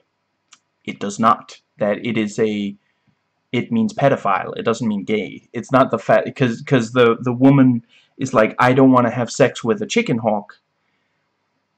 And the the subtitler apparently thought that she was homophobic rather than you know she thinks pedophile you know pedophiles are are disgusting. If you have the urges, all I say is try to get treatment for it. Try to find a way to not give in to them. You know, I, I you lose my empathy if you actually do something to a child. Uh, you know, if if you I've I've heard that some people feel the urge through no fault of their own and for that I just just try to try to find a way to to yeah let's see and I agree with those saying that John wasn't expecting the prostitute to lead him to someone that he could exercise vigilantism on vigilantize I don't think he was all that interested in sex with her. I think he was worried about her, figured that if all he could do to help her was sex and pay for it, then that would be fine. You know, first, she says, you know, it costs 20 plus 5 for the room, and he's not interested. But then she immediately lowers it to 15, which makes him wonder if maybe she struggles to make money, and then he notes that she might catch a cold because she's wearing so little, and yeah, you know, I, I feel like at that point he just, like, I don't know, I mean, what was it they said, uh, so and such much money for half an hour, you know, that's half an hour where she isn't on the street freezing and when she isn't having sex with someone that she finds disgusting, so I, I feel like that's what he, you know, and note that once he realizes that she's been tortured, he doesn't seem sexually frustrated, only compassionate, you know. I'm, I think if he I, I, I want to make it clear, I don't think there's anything wrong with sex work or, you know, what, uh, what is the, I think sex work is work, and we should protect sex workers. The, the, um, let's see, you know, maybe, I don't know, maybe, maybe I'm delusional here. You can, if you think so, feel free to put it in the comments in my mind, I feel like if she hadn't, you know, if, if she had taken off her clothes, or, or, you know, yeah, it's when she takes off her top that he sees that she's been tortured. If, you know, and, and know also at first that she thinks that he gets off on her telling him about the, the torture. And there's also, there's that other prostitute who only gives the, the, um, Detective James Dalton, alive since 1968. 1864, that's it. You know, well, yeah, there you go. The, I don't know why they're wondering if he's still alive. He died in this movie. Anyway, he only gets information from her when she, she gets her fix, you know, which is also saying, you know, oh, all these prostitutes are on drugs, and, yeah. Would she... Do people usually carry their fix when they're when they're like just I mean I guess she is in her office but what if someone stole her purse then she has no wouldn't doesn't she only get a fix when she gets all the way home. Why is she carrying drugs? That's also not, like he could also arrest her for that. Just yeah. James Glickenhaus's paranoid right-wing mind is a fascinating place to to yeah. But but yeah um I think that if she you know once she takes her top off he realizes she's been tortured and then his mind is only on revenge.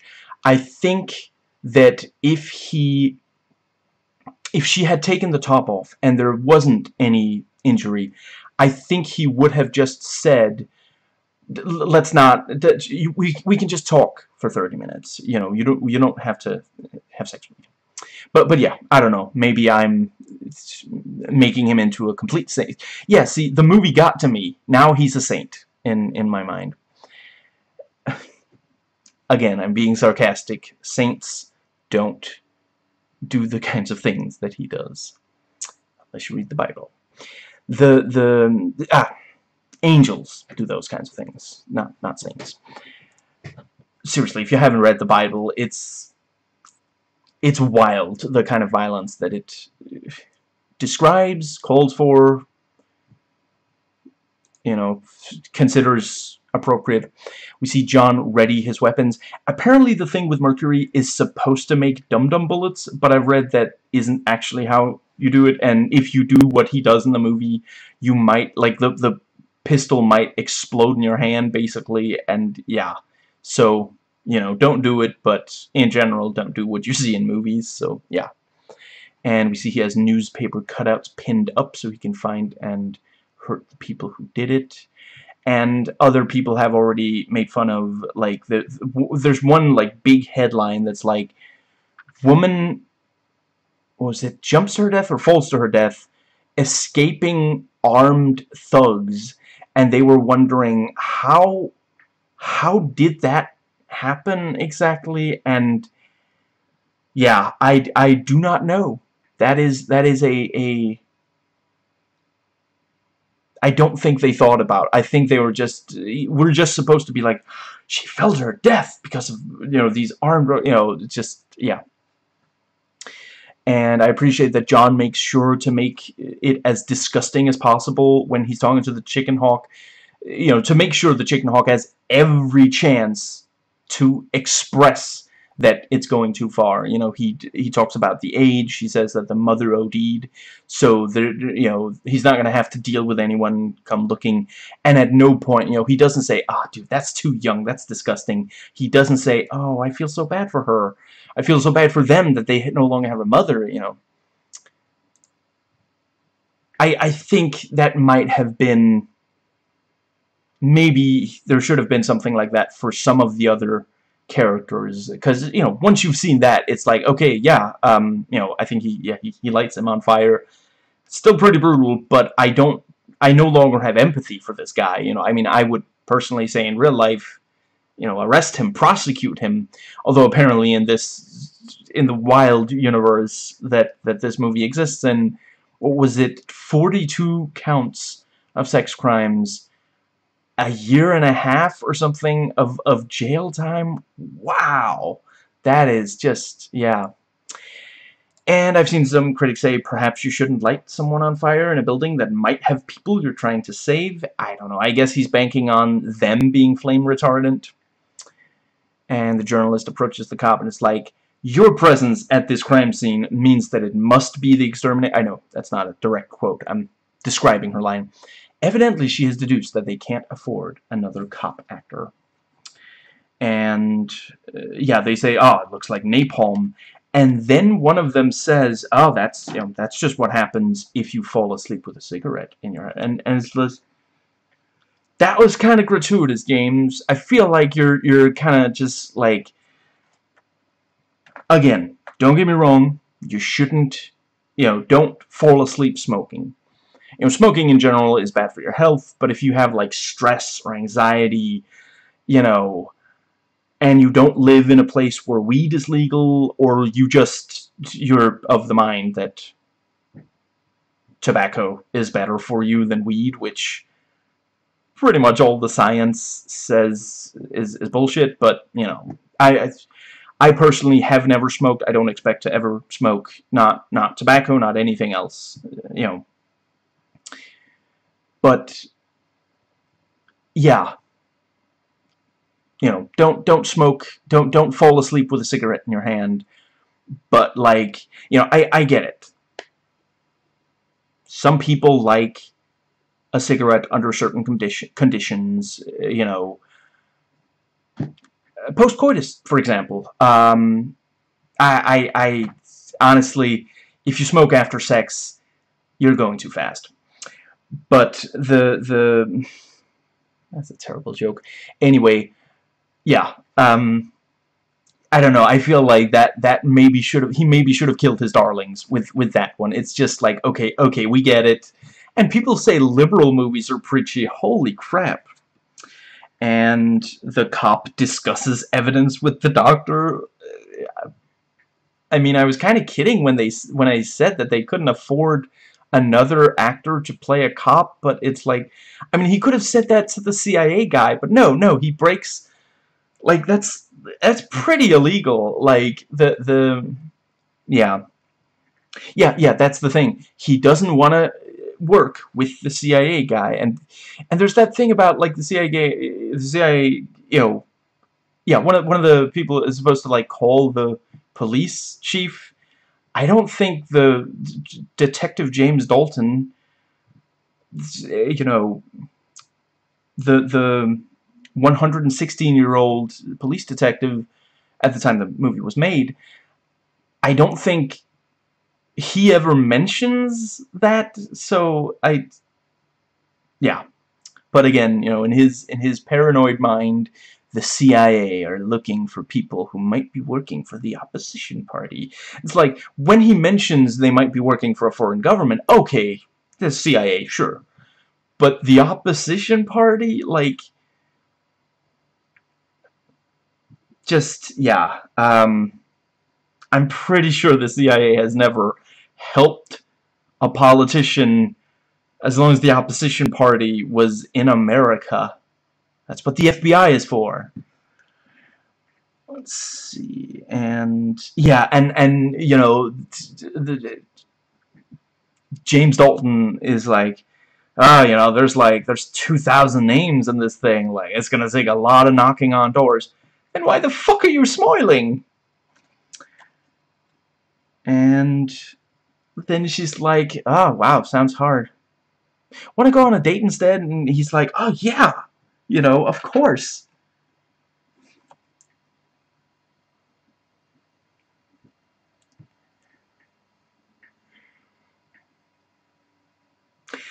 Some people have chosen to describe him in their reviews as ridiculously horny. Yeah, he must be. Like, I mean, even if he's not, like, if he doesn't really disapprove of what the Exterminator does, like, at least try to find him and then, like, talk to him. Because that's also the thing, like, the ending it seems like he kind of, sort of, doesn't mind, like, he says, you know, I, I love his, I love his, um, one-liner, but, like, the, the thing of, um, hold on, I have it written down somewhere, don't I? Uh, yeah, yeah, the, the, you know, epic one-liner about, you know, I think you need to take a shit. It's coming out of your mouth instead of your asshole. And the the um, that's when he when the CIA guy says you're eh, you know the the yeah he, he says the thing I just quoted about you know opposition party possibly a foreign government I mean that's obviously bullshit that's ridiculous but does he agree with the with, with John? I don't know. Maybe I missed a line. I, I it's entirely possible that I missed a line where he explicitly says whether or not he he trusts. You know. Yeah. Uh, let's. See. Yeah, and and like when you know when they meet on the uh, was it a boat or something like that? You know he fires a gun like right off to the side of you know of the cop. First of all what if the cop mistook you know thought that he was aiming at him and tries to jump out of the way jumps into the bullet? That's one thing. Another is what if he does have some kind of or what if he what if someone did come with him? You know like if if he did tell someone okay please follow me just in case something happens obviously that guy is going to try to stop John from shooting when he's just, yeah. Anyway, um, yeah. I don't know why John threatens the motorcyclist. Like, if he thought that, you know, I, I, I'm not certain he saw enough to be sure that the motorcyclist wasn't hurting the old lady. but then why does he just threaten him instead of actually hurt him? He doesn't, you know, he doesn't kill him. He doesn't do anything to him. He, he threatens him and takes his motorcycle, and that's it. You know, like, if he thought... Has he left anyone... Right, uh, Ratmeal Face is still alive, I think, although he apparently, like, he can't regain consciousness, or he can't... Like, the, the the cop and the doctor agree that he can't get anything useful out of him, so, yeah. Uh, let's see, and, um, okay, so, so, you know, and, and yeah, for sure, if he doesn't think that the motorcyclist did anything wrong, why is he threatening him? Like, the, the motor, like, even if he needs the motorcycle, and, and see, again, it's so easy, just have him say, I'll bring the bike back, but I gotta take out those guys, or something like that, you know. And now John is just going after muggers who engage in reckless driving. I'm sorry, but I feel like that's a downgrade from chicken hawks, mob bosses, and like all this just what do what do you just yeah. And let's see. And and like you know, I I'm not saying that the scene can't be in the movie. I just feel like it should have been earlier, you know, maybe before he goes after the chicken hawk, for example. But but yeah, you know, then when when the Oh, right, yeah, I, uh, I said chicken... I guess not all chicken hawks are pedophiles, but some of them, you know, help pedophiles have sex with underage people. That, yeah, to be clear. And, and that's also incredibly disgusting in, in both cases, yeah. Um, and why does he let the car drive? Like, he shoots one of them and lets the car driver... Like, I guess it's so that they can have a chase, and so he can even, like, he he crashes the motorcycle, they don't crash the car, and then he almost, uh, you know, but he does manage to, to get them, but that's really forced, like, and it's, you could have just had it be that he, you know, he pulls up to the car, and there's only one person in the car, shoots that person, and he doesn't know where the other muggers are, they were in the car when they drove off, and then they drive up in another car behind him, and chase him or something like that. But or, or wait, or he yeah, right, the as it is in the movie, he's the one chasing them. Yeah, yeah, you could yeah, that's right. So they drive off in another car from from in front of where he is, so he chases after something like that, but just yeah. I don't know if James Glickenhaus does more than one draft. And uh, let's see. Yeah, um so yeah, we have the epic one-liner yeah, it's cool enough that it, it bears repeating. I think you need to take a shit. It's coming out of your mouth instead of your asshole. And then he goes on a date with Meg instead of trying to work against the guy. It's like, if you think that this guy is, like, going after the wrong guy, aren't you worried that he's going to kill John, then? Like, why are you, why are you taking time off for a date when you could just, wild. Now, I am in favor of euthanasia, but I do think it is interesting that this movie, not to mention many conservatives who have written reviews and comments on reviews defending the movie's depiction of euthanasia, don't seem to think that Michael's wife should have any impact on the decision. Even if they didn't want to film a scene of that kind of thing, of a discussion between John and the wife of Michael, just have John say, I already talked to your wife, and she says to grant it if that is what you want, you know, he he tells her afterwards, he doesn't give her any chance to argue for Mar Michael to go on living. Just, like, I get it. I...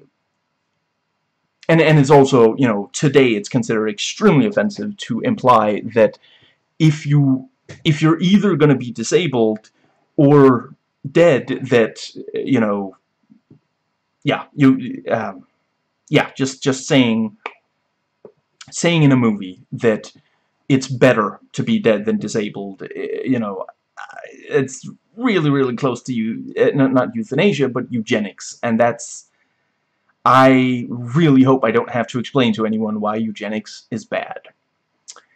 But, let's see, yeah, yeah, so, you know, he's like, I mean, if, if you'd rather, and, and it's also, did the doctors say that when they told him that he want, that, that, you know, when, when they told John, Michael wants to see you, did they say, I think he wants you the next...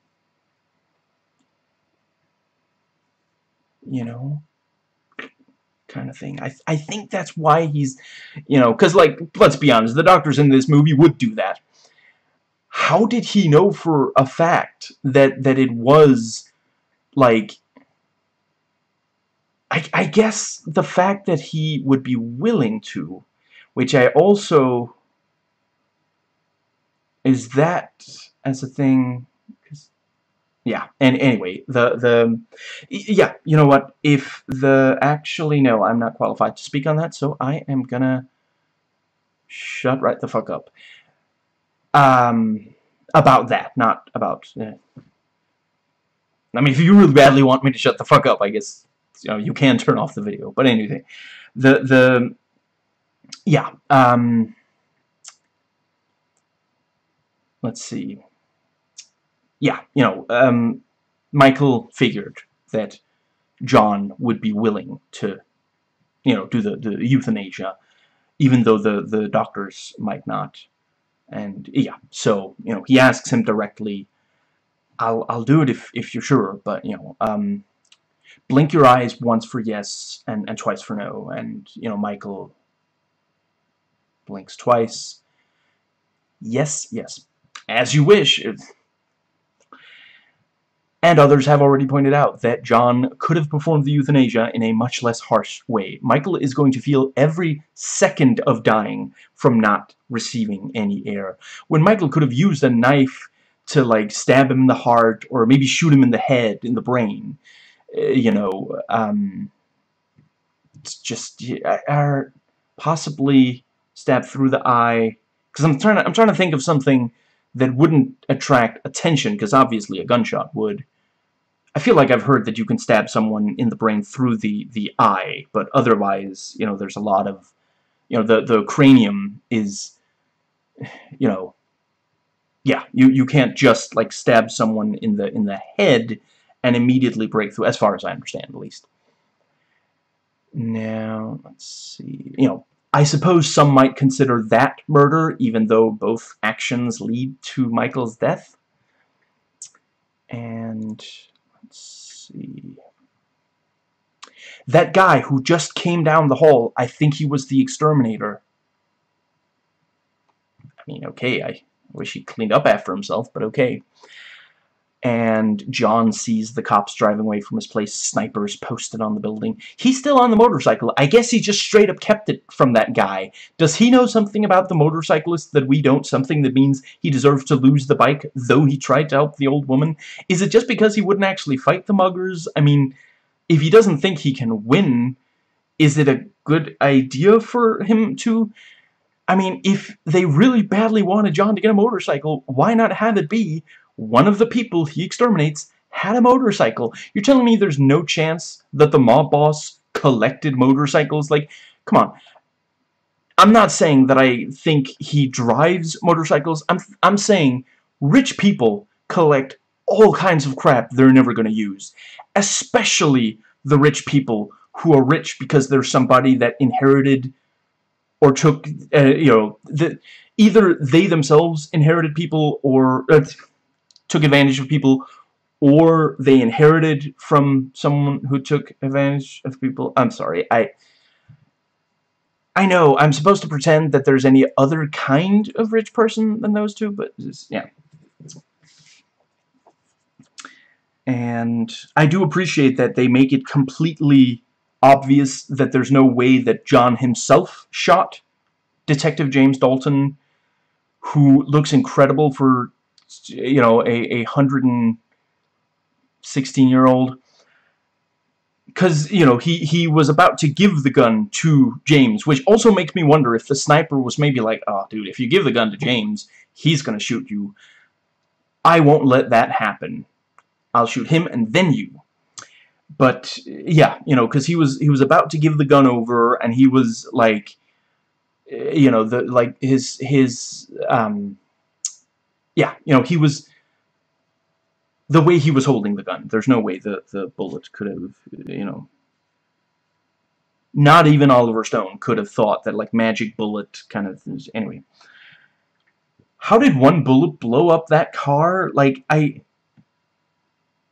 you you you can just have other thing like just have him like put uh, push a detonator and then we see the the car blow up just yeah and like did I see that right? Did John manage to shoot the sniper with a handgun from that far away and and shoot him like lethal just yeah. And apparently the bullet that kills Dalton is actually from some off-screen person so and that's also like couldn't you just have had the sniper finish him off and then John maybe John and, and the sniper fire the last bullet at the same time kind of thing and yeah we see John had a vest on and made it out and a country song over the end credits it's not the same as the opening but it is similar and it again like yeah actually come to think of it, like, the opening song it kind of fits the idea of, you know, he's trying to just live a normal life. The ending credits song kind of implies that he's retiring from exterminating, which, I mean, he wasn't done. I do think that the movie could have benefited from, like, I mean, the at the start, Michael is attacked uh, yeah, I'm not going to go over the entire sequence of events. We all know, you know, if you watched this far into the video, hopefully you know the plot of this movie. Hopefully you've watched it at least once. Yeah, uh, uh, you know, once Michael is attacked by the ghetto ghouls, and and uh, and John goes to kill the ghetto ghouls, at least the one those ones. I forget, did he keep killing ghetto ghouls over more of the movie? Anyway, you could have made it that the head of the Ghetto Ghouls, and as apparently in the second one they do have a main villain, I think this movie would have benefited from a main villain, and have it be that, although, I don't know, maybe James Glickenhaus was worried that would imply that the crime was over at the end of the movie if he kills him at the end of anyway but yeah you know the fact that he attacks people because the chicken hawk that could have been a subsidiary of the the ghetto ghoul mob boss. Maybe the ghetto ghoul mob boss could have been the one that. Oh wait, yeah. Ah, uh, hold on. Yeah, yeah. Like the guy who got lowered into the and and ground up into burger meat. I think that should maybe have been like the underboss kind of, you know, and then at the end, like the the guy who is behind it all you know the let's see um, yeah you know the at, at, you know, by the by the end it becomes clear to you know he figures out how uh, you know who knows yeah he figures out that John is the exterminator. Maybe he was also having sex in the in the hospital there. And uh, that really that is a baffling like of all the ways they could have it be revealed just you know flies open and then he zips it up and he's like oh well that's the guy. Youth you know vigilante euthanagist polite you know enough to tell you that your fly is open the exterminator. But the that should be the tagline as as it is the the you know let's see. Oh right there's yeah there's six taglines. They are really really good but uh, yeah I I think it it should note that you know yeah. Uh let's see. Yes so yeah. And the ending and and if you really wanna wanna you know uh, uh, what's it called? Like twist the blade. You could have him like say, "I'm glad you lost Vietnam." Uh, let's see. Maybe he thinks that the the um, what's it called? Yeah, what's that? What's that Con Air line? Uh, um, fucking pussy. You know, yeah. He could say it's because of people like you we lost Vietnam, you fucking pussy. So, something like that, you know. I love that movie. That that one I do legitimately. I I acknowledge that the the politics are definitely you know very conservative, but I do find that movie extremely entertaining to watch. Anyway, yeah. So the uh let's see. Um I think um, I don't know if I want to think. I guess maybe the the CIA person is the. Could it, or maybe yeah, maybe make it that he is a, a politician, that the the guy behind it all, because they have that thing where like the you know, was it did they just say Washington or something? You know, was asking the mob boss to fix the the meat price, which is also an interesting like, and he's like he can do it, but it's gonna take some some work and cost him money or something. It's yeah, very very interesting how how James Glickenhaus, at least when he made this movie, felt that things worked in New York. But yeah, yeah, you know, make it make it like um, yeah, yeah, because you already have, you know, the, I I forget, was it the yeah yeah the the the guy that he shoots at the at the chicken place, you know the the yeah he sets fire to the chicken hawk and then he kills the the other guy. Was that like a senator or something? Or I, I feel like we heard that that was that he was a politician. So yeah, you know, make it that the the main politician maybe they're even related or like they were running mates so he has a you know he has a uh, secretary position or something you know. And yeah you know and at the end he manages to to figure out who it is or maybe he you know yeah you know the the thing about the CIA listening and you know that's that's fine. As it is I think it would have been better if the movie, let's see, um, I mean, I guess I get, I, I guess you'd have to get rid of the, the thing with the, okay, yeah, here's my rewrite. Instead of a good cop, the guy who tries to find, uh, you know, it, it could still be the, you know, you just change the character he's actually a bad guy. He's working with the the the the senator and the the secretary, and he pretends to eh, you know he yeah he pretends to be a good guy. So he maybe lures John into this you know really abandoned place. And John realizes that it's a trap, shoots the cop, and then there's some kind of, I don't know, I guess maybe a physical fight or maybe maybe they try to shoot each other or something, you know, between John and the secretary.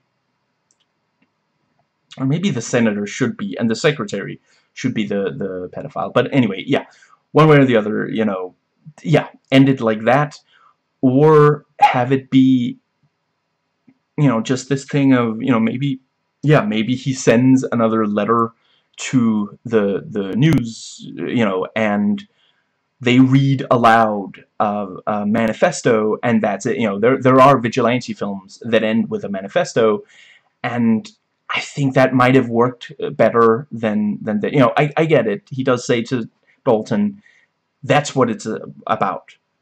You know, now you know what it's like to feel like a victim. That's what it's all about. You know, so and and that is, uh, you know, um, basically what he's saying is they victimize people. I want them to feel the the pain and fear that their victims do, you know. And yeah, that definitely works as a uh, what's the word? If you you know, if you as as a as why he's doing it, you know, that again, that means he does have empathy. He just doesn't have empathy for his enemies. And again, you know, yeah, they're they're monsters. So but, but yeah, he does have empathy for their victims, and yeah. So, that brings us to the final section. Notes taken before watching. I totally understand why they made a sequel to this. If I heard it was good, I might want to watch it, but yeah, I I hear it's bad. I do think it's really cool that uh, John Ginty came back for for. Did I mispronounce his name? Um, no, that is it. John Robert Playing John. Return. I yeah, I knew there was something wrong. Um, let's see. Yeah, and they apparently like did, they made um I'm gonna find real quick. There's a there's a uh, hold on.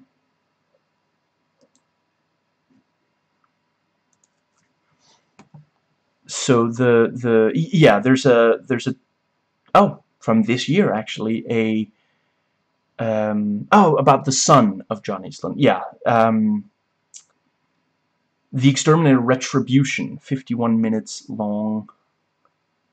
Was that meant as a short film or was it supposed to be? That kind of sounds like a, a failed pilot. Um, does not look like yeah if, if it is a failed pilot I can't see as a but yeah I mean that makes sense as a, as a sequel. And there's also something from 2020 called Exterminator but that's a horror it's a horror short film.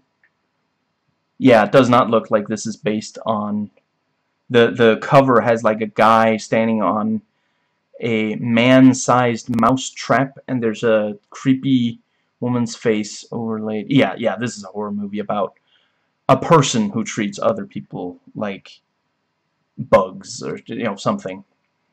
That is also interesting. When I did uh, research for this movie one thing that came out came up was and this might not surprise you if you're already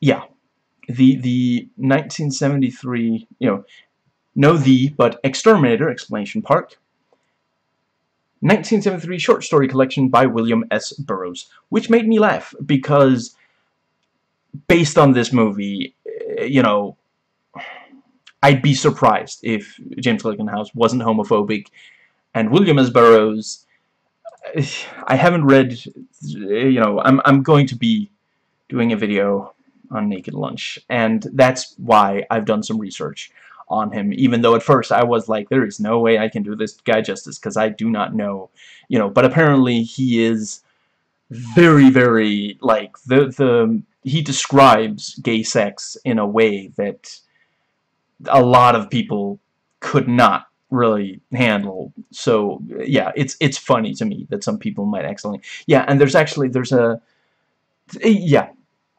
1960 book called The Exterminator, and that's, let's see, I can't tell if that's the same, but that's a short story collection by William S. Burroughs, so, so yeah. Um, let's see. So, so yeah, um, kind of, kind of made me, yeah. Um, anyway, the, um, yeah, I, I feel like um, I feel like you could probably make this kind of thing work. Like if someone wanted to do a reboot, um, yeah, I, I feel like I, I mean, certainly some action movies today are extremely gory. Uh, you know, the Expendables movies have uh, substantial gore. In, some of them, not I feel like there's at least one of them that's like PT-13. Wait, did I? No, that can't. Hold on for just a second. That.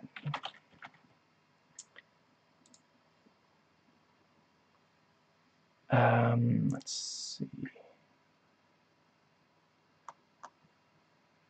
Yeah, I, I might be thinking of something else. Anyway, um, yeah, I, I feel like they could they could do the Exterminator today I guess maybe not New York City. I don't know how popular it is to today say that it's this really awful place. And certainly, you know, a number of people are going to criticize if you make, yeah. Um, but but yeah, like I feel like you could just have it be, you know, he goes, yeah, just make make it a nondescript city, you know, and just yeah, you know, whether yeah, you it could be it could be a movie, it could be like um you know, I mean, I just got done watching season 1 of The Punisher of the Marvel Netflix Punisher, so yeah, um Netflix you know, you could you could do it there as a yeah.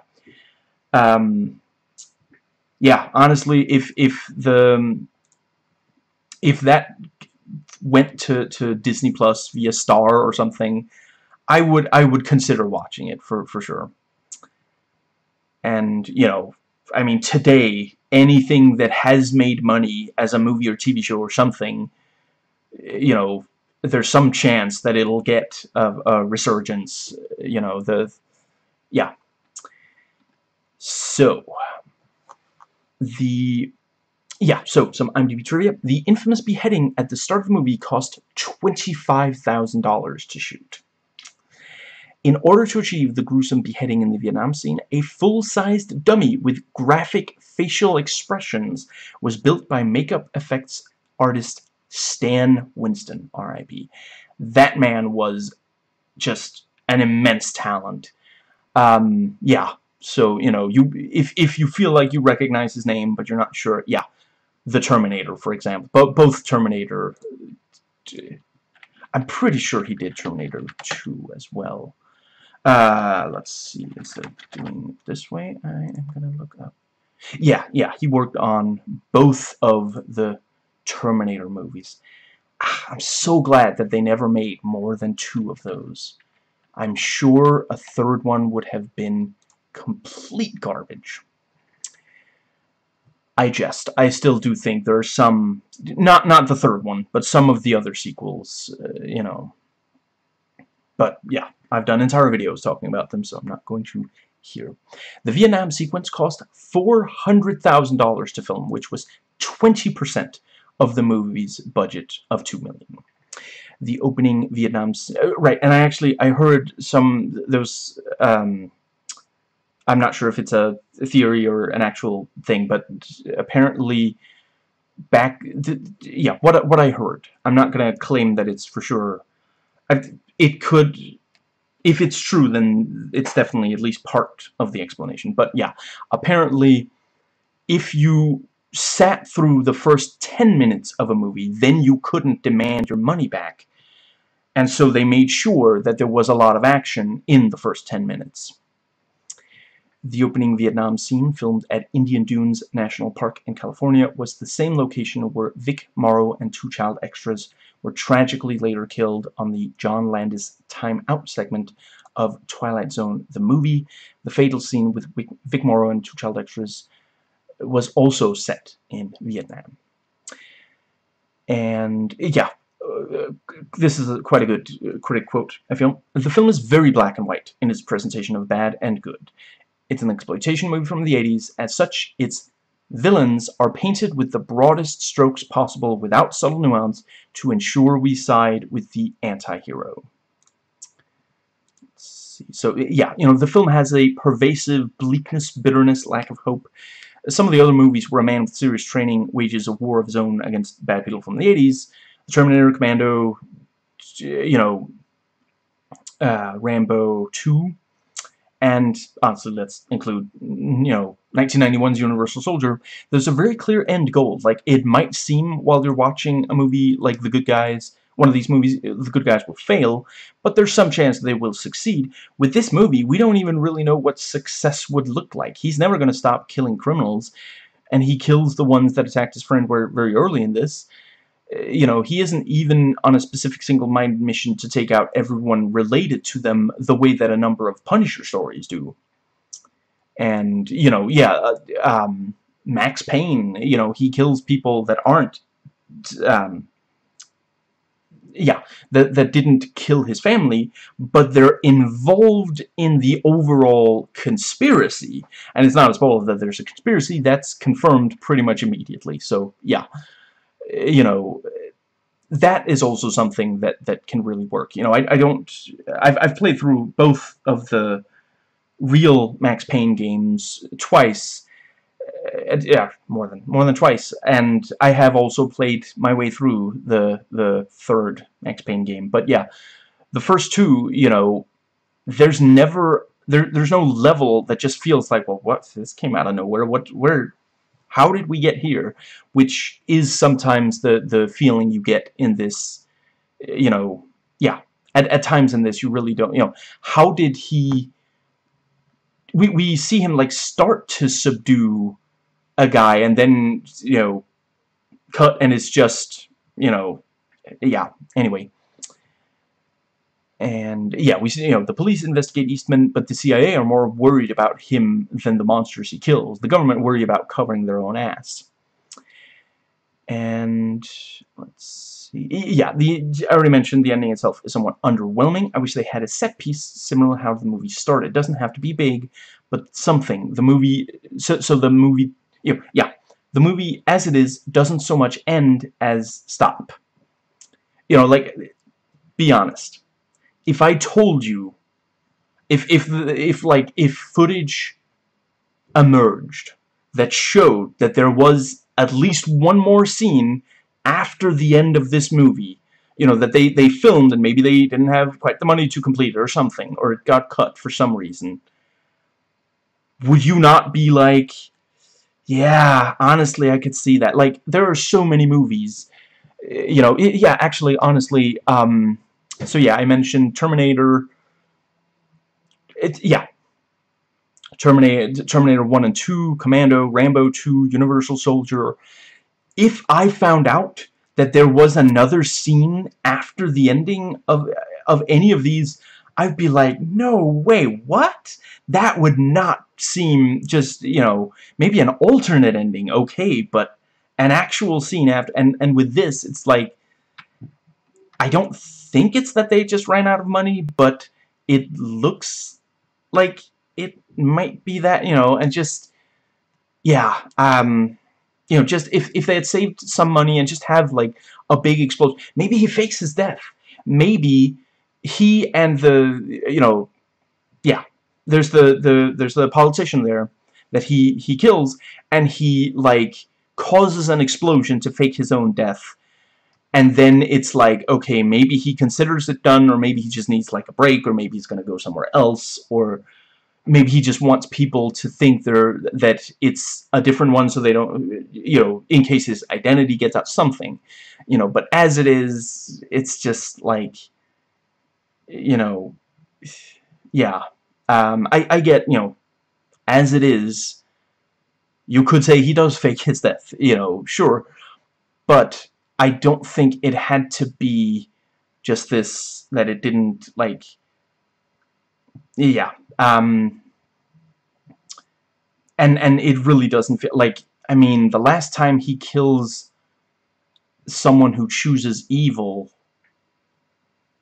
you know what? I actually uh, okay I'm gonna I'm gonna look it up on the let's see so the let's see um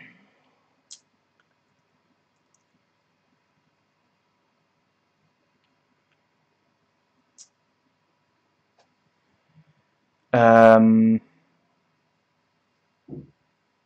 let's see.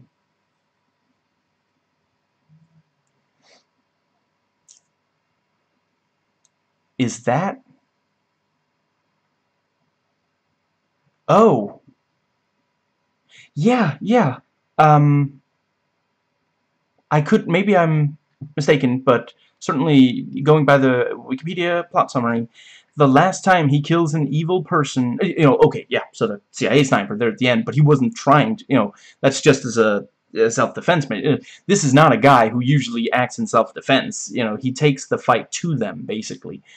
Uh, yeah, he kills three members of the Ghetto Ghouls after witnessing them rob an elderly woman. That, yeah, and he actually took a break from, you know, the Ghetto Ghouls, because, yeah, because the, the, um, the mob boss has nothing to do with the ghetto ghouls, right? Because he, yeah, yeah, because like um, the warehouse, the with the with the beer and all that, they pay protection money to the mob boss, so there's no reason for the ghetto ghouls to steal from the yeah yeah. So it's it's completely you know he takes a break from the ghetto ghouls after the the and it also just I the fact that the that we have no idea how he captures the the that one gang member like it cuts you know, we, we see him talk to, to the wife and tell her what exactly, you know, what, what, the, what the diagnosis is and such,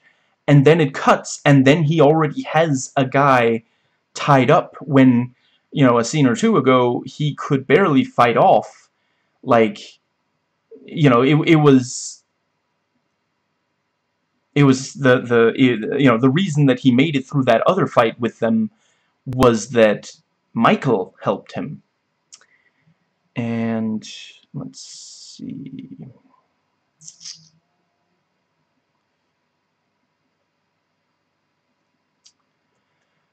Um,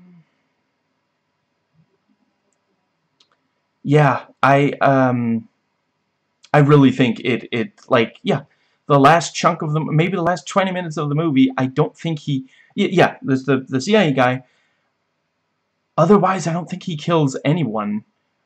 Uh, so, so yeah, it's, uh, well, you know, Michael. But, again, that is euthanasia. Michael himself did say, yeah, I, I, I do think that he should have talked to the, the wife before, uh, you know, but I don't think that someone should be forced to live if they if their life is in a state where they wish that they would die. Um, right, and I also, just real quick, I saw someone say that Michael and John only became friends in the opening scene or something. I'm pretty sure they're supposed to be, like, aren't they serving together? I don't know. I I could be wrong, but that was the the vibe I got from watching the movie. But yeah. Um, let's see.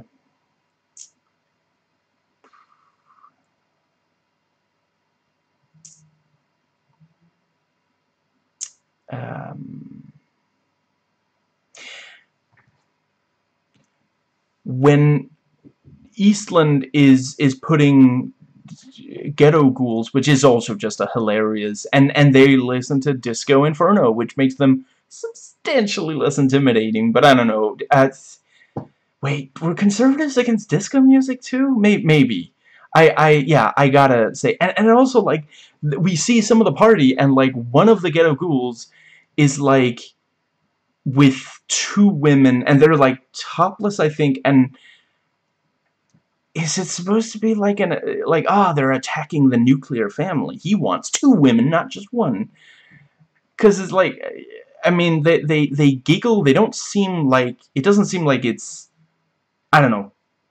If I missed uh, a hint that it's sexual assault, please let me know in, in the comments, and I will try to be more vigilant in the future, but as far as I could tell, it was, you know, all everyone present enjoyed it, but yeah, I know conservatives, they don't, what, what was it that, you know, the, the, ah, let's see, there was that guy, ah, crap, I can't believe I'm blanking on his name, uh, radio, uh, hold on. I know a quote of his. Maybe I can find it by that.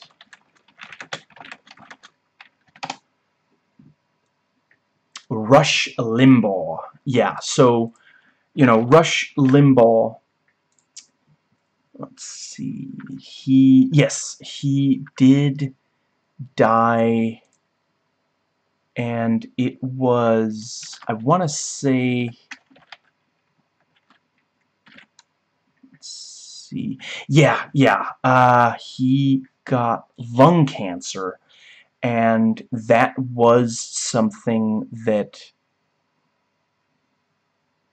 Yeah. Um, let's see. He was diagnosed with it January 20, 2020, and then he died just, yeah, a little over a year later at the age of 70 so yeah um, the the let's see um, yeah the the um, let's see yeah yeah you know he had previously downplayed the link between smoking and cancer deaths saying arguing uh, it takes 50 years to kill people if it does. which you know so so that's part of the the irony there. And it also just like he was a radio personality. If you believe in God and you believe God punishes bad people and then you get lung cancer after being on the radio for a very long time I feel like that might be a hint that God thinks you took it a little too far. Oh he was he's in a cemetery in St. Louis Missouri yeah. I mean no I I I have a bathroom in the house so. But but yeah the the um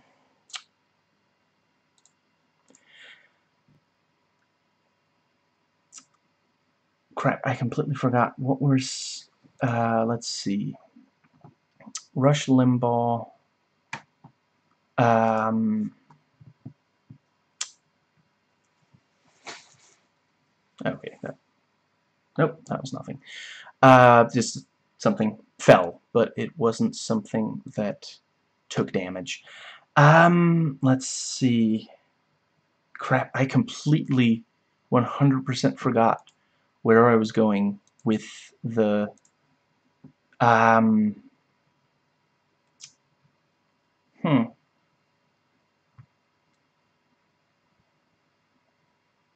there was something that Limbaugh said that I was gonna be referencing.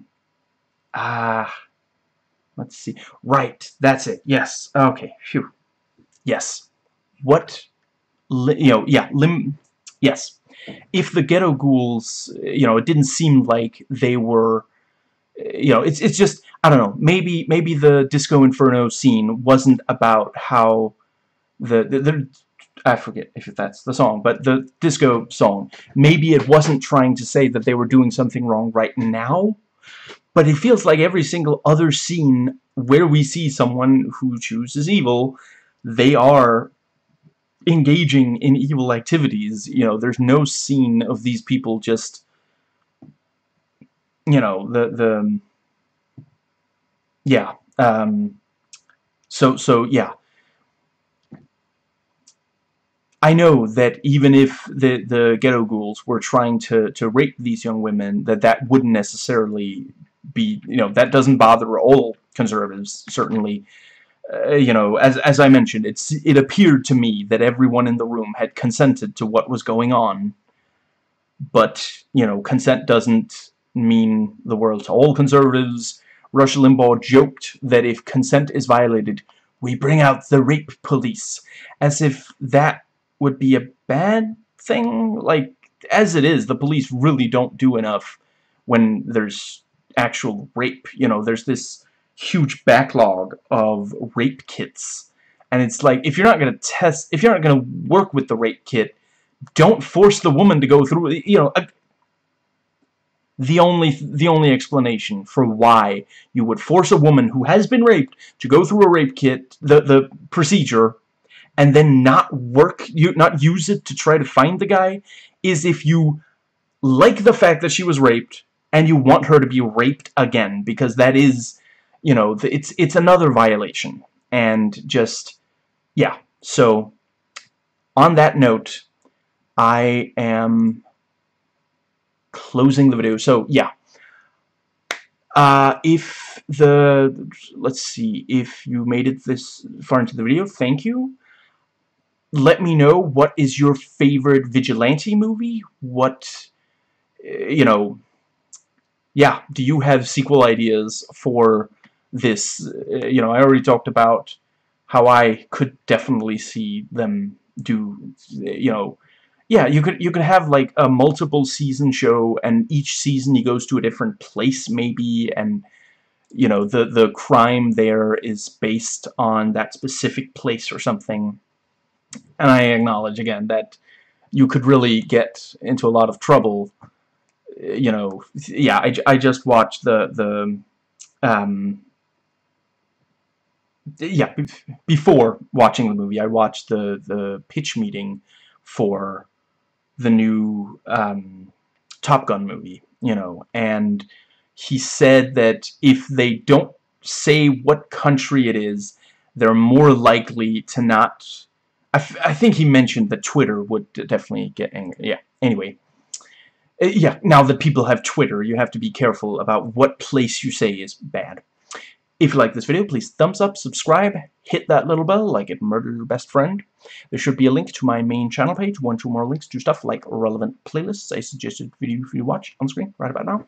I put out one vlog per week reviewing and sharing spoiler thoughts on a movie, and one talking about my spoiler thoughts on the most recent episode of the current Disney Plus Star Wars show, which these days is Andor and recently the review and thoughts videos tend to come out very similar to this one. In other words, if more videos like this, you're in luck. You can check out my back catalog, as well as catch my video next week.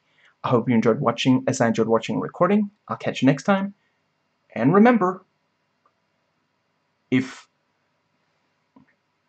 if you say something stupid, it might be because you need to take a shit because it's coming out of your mouth instead of your asshole.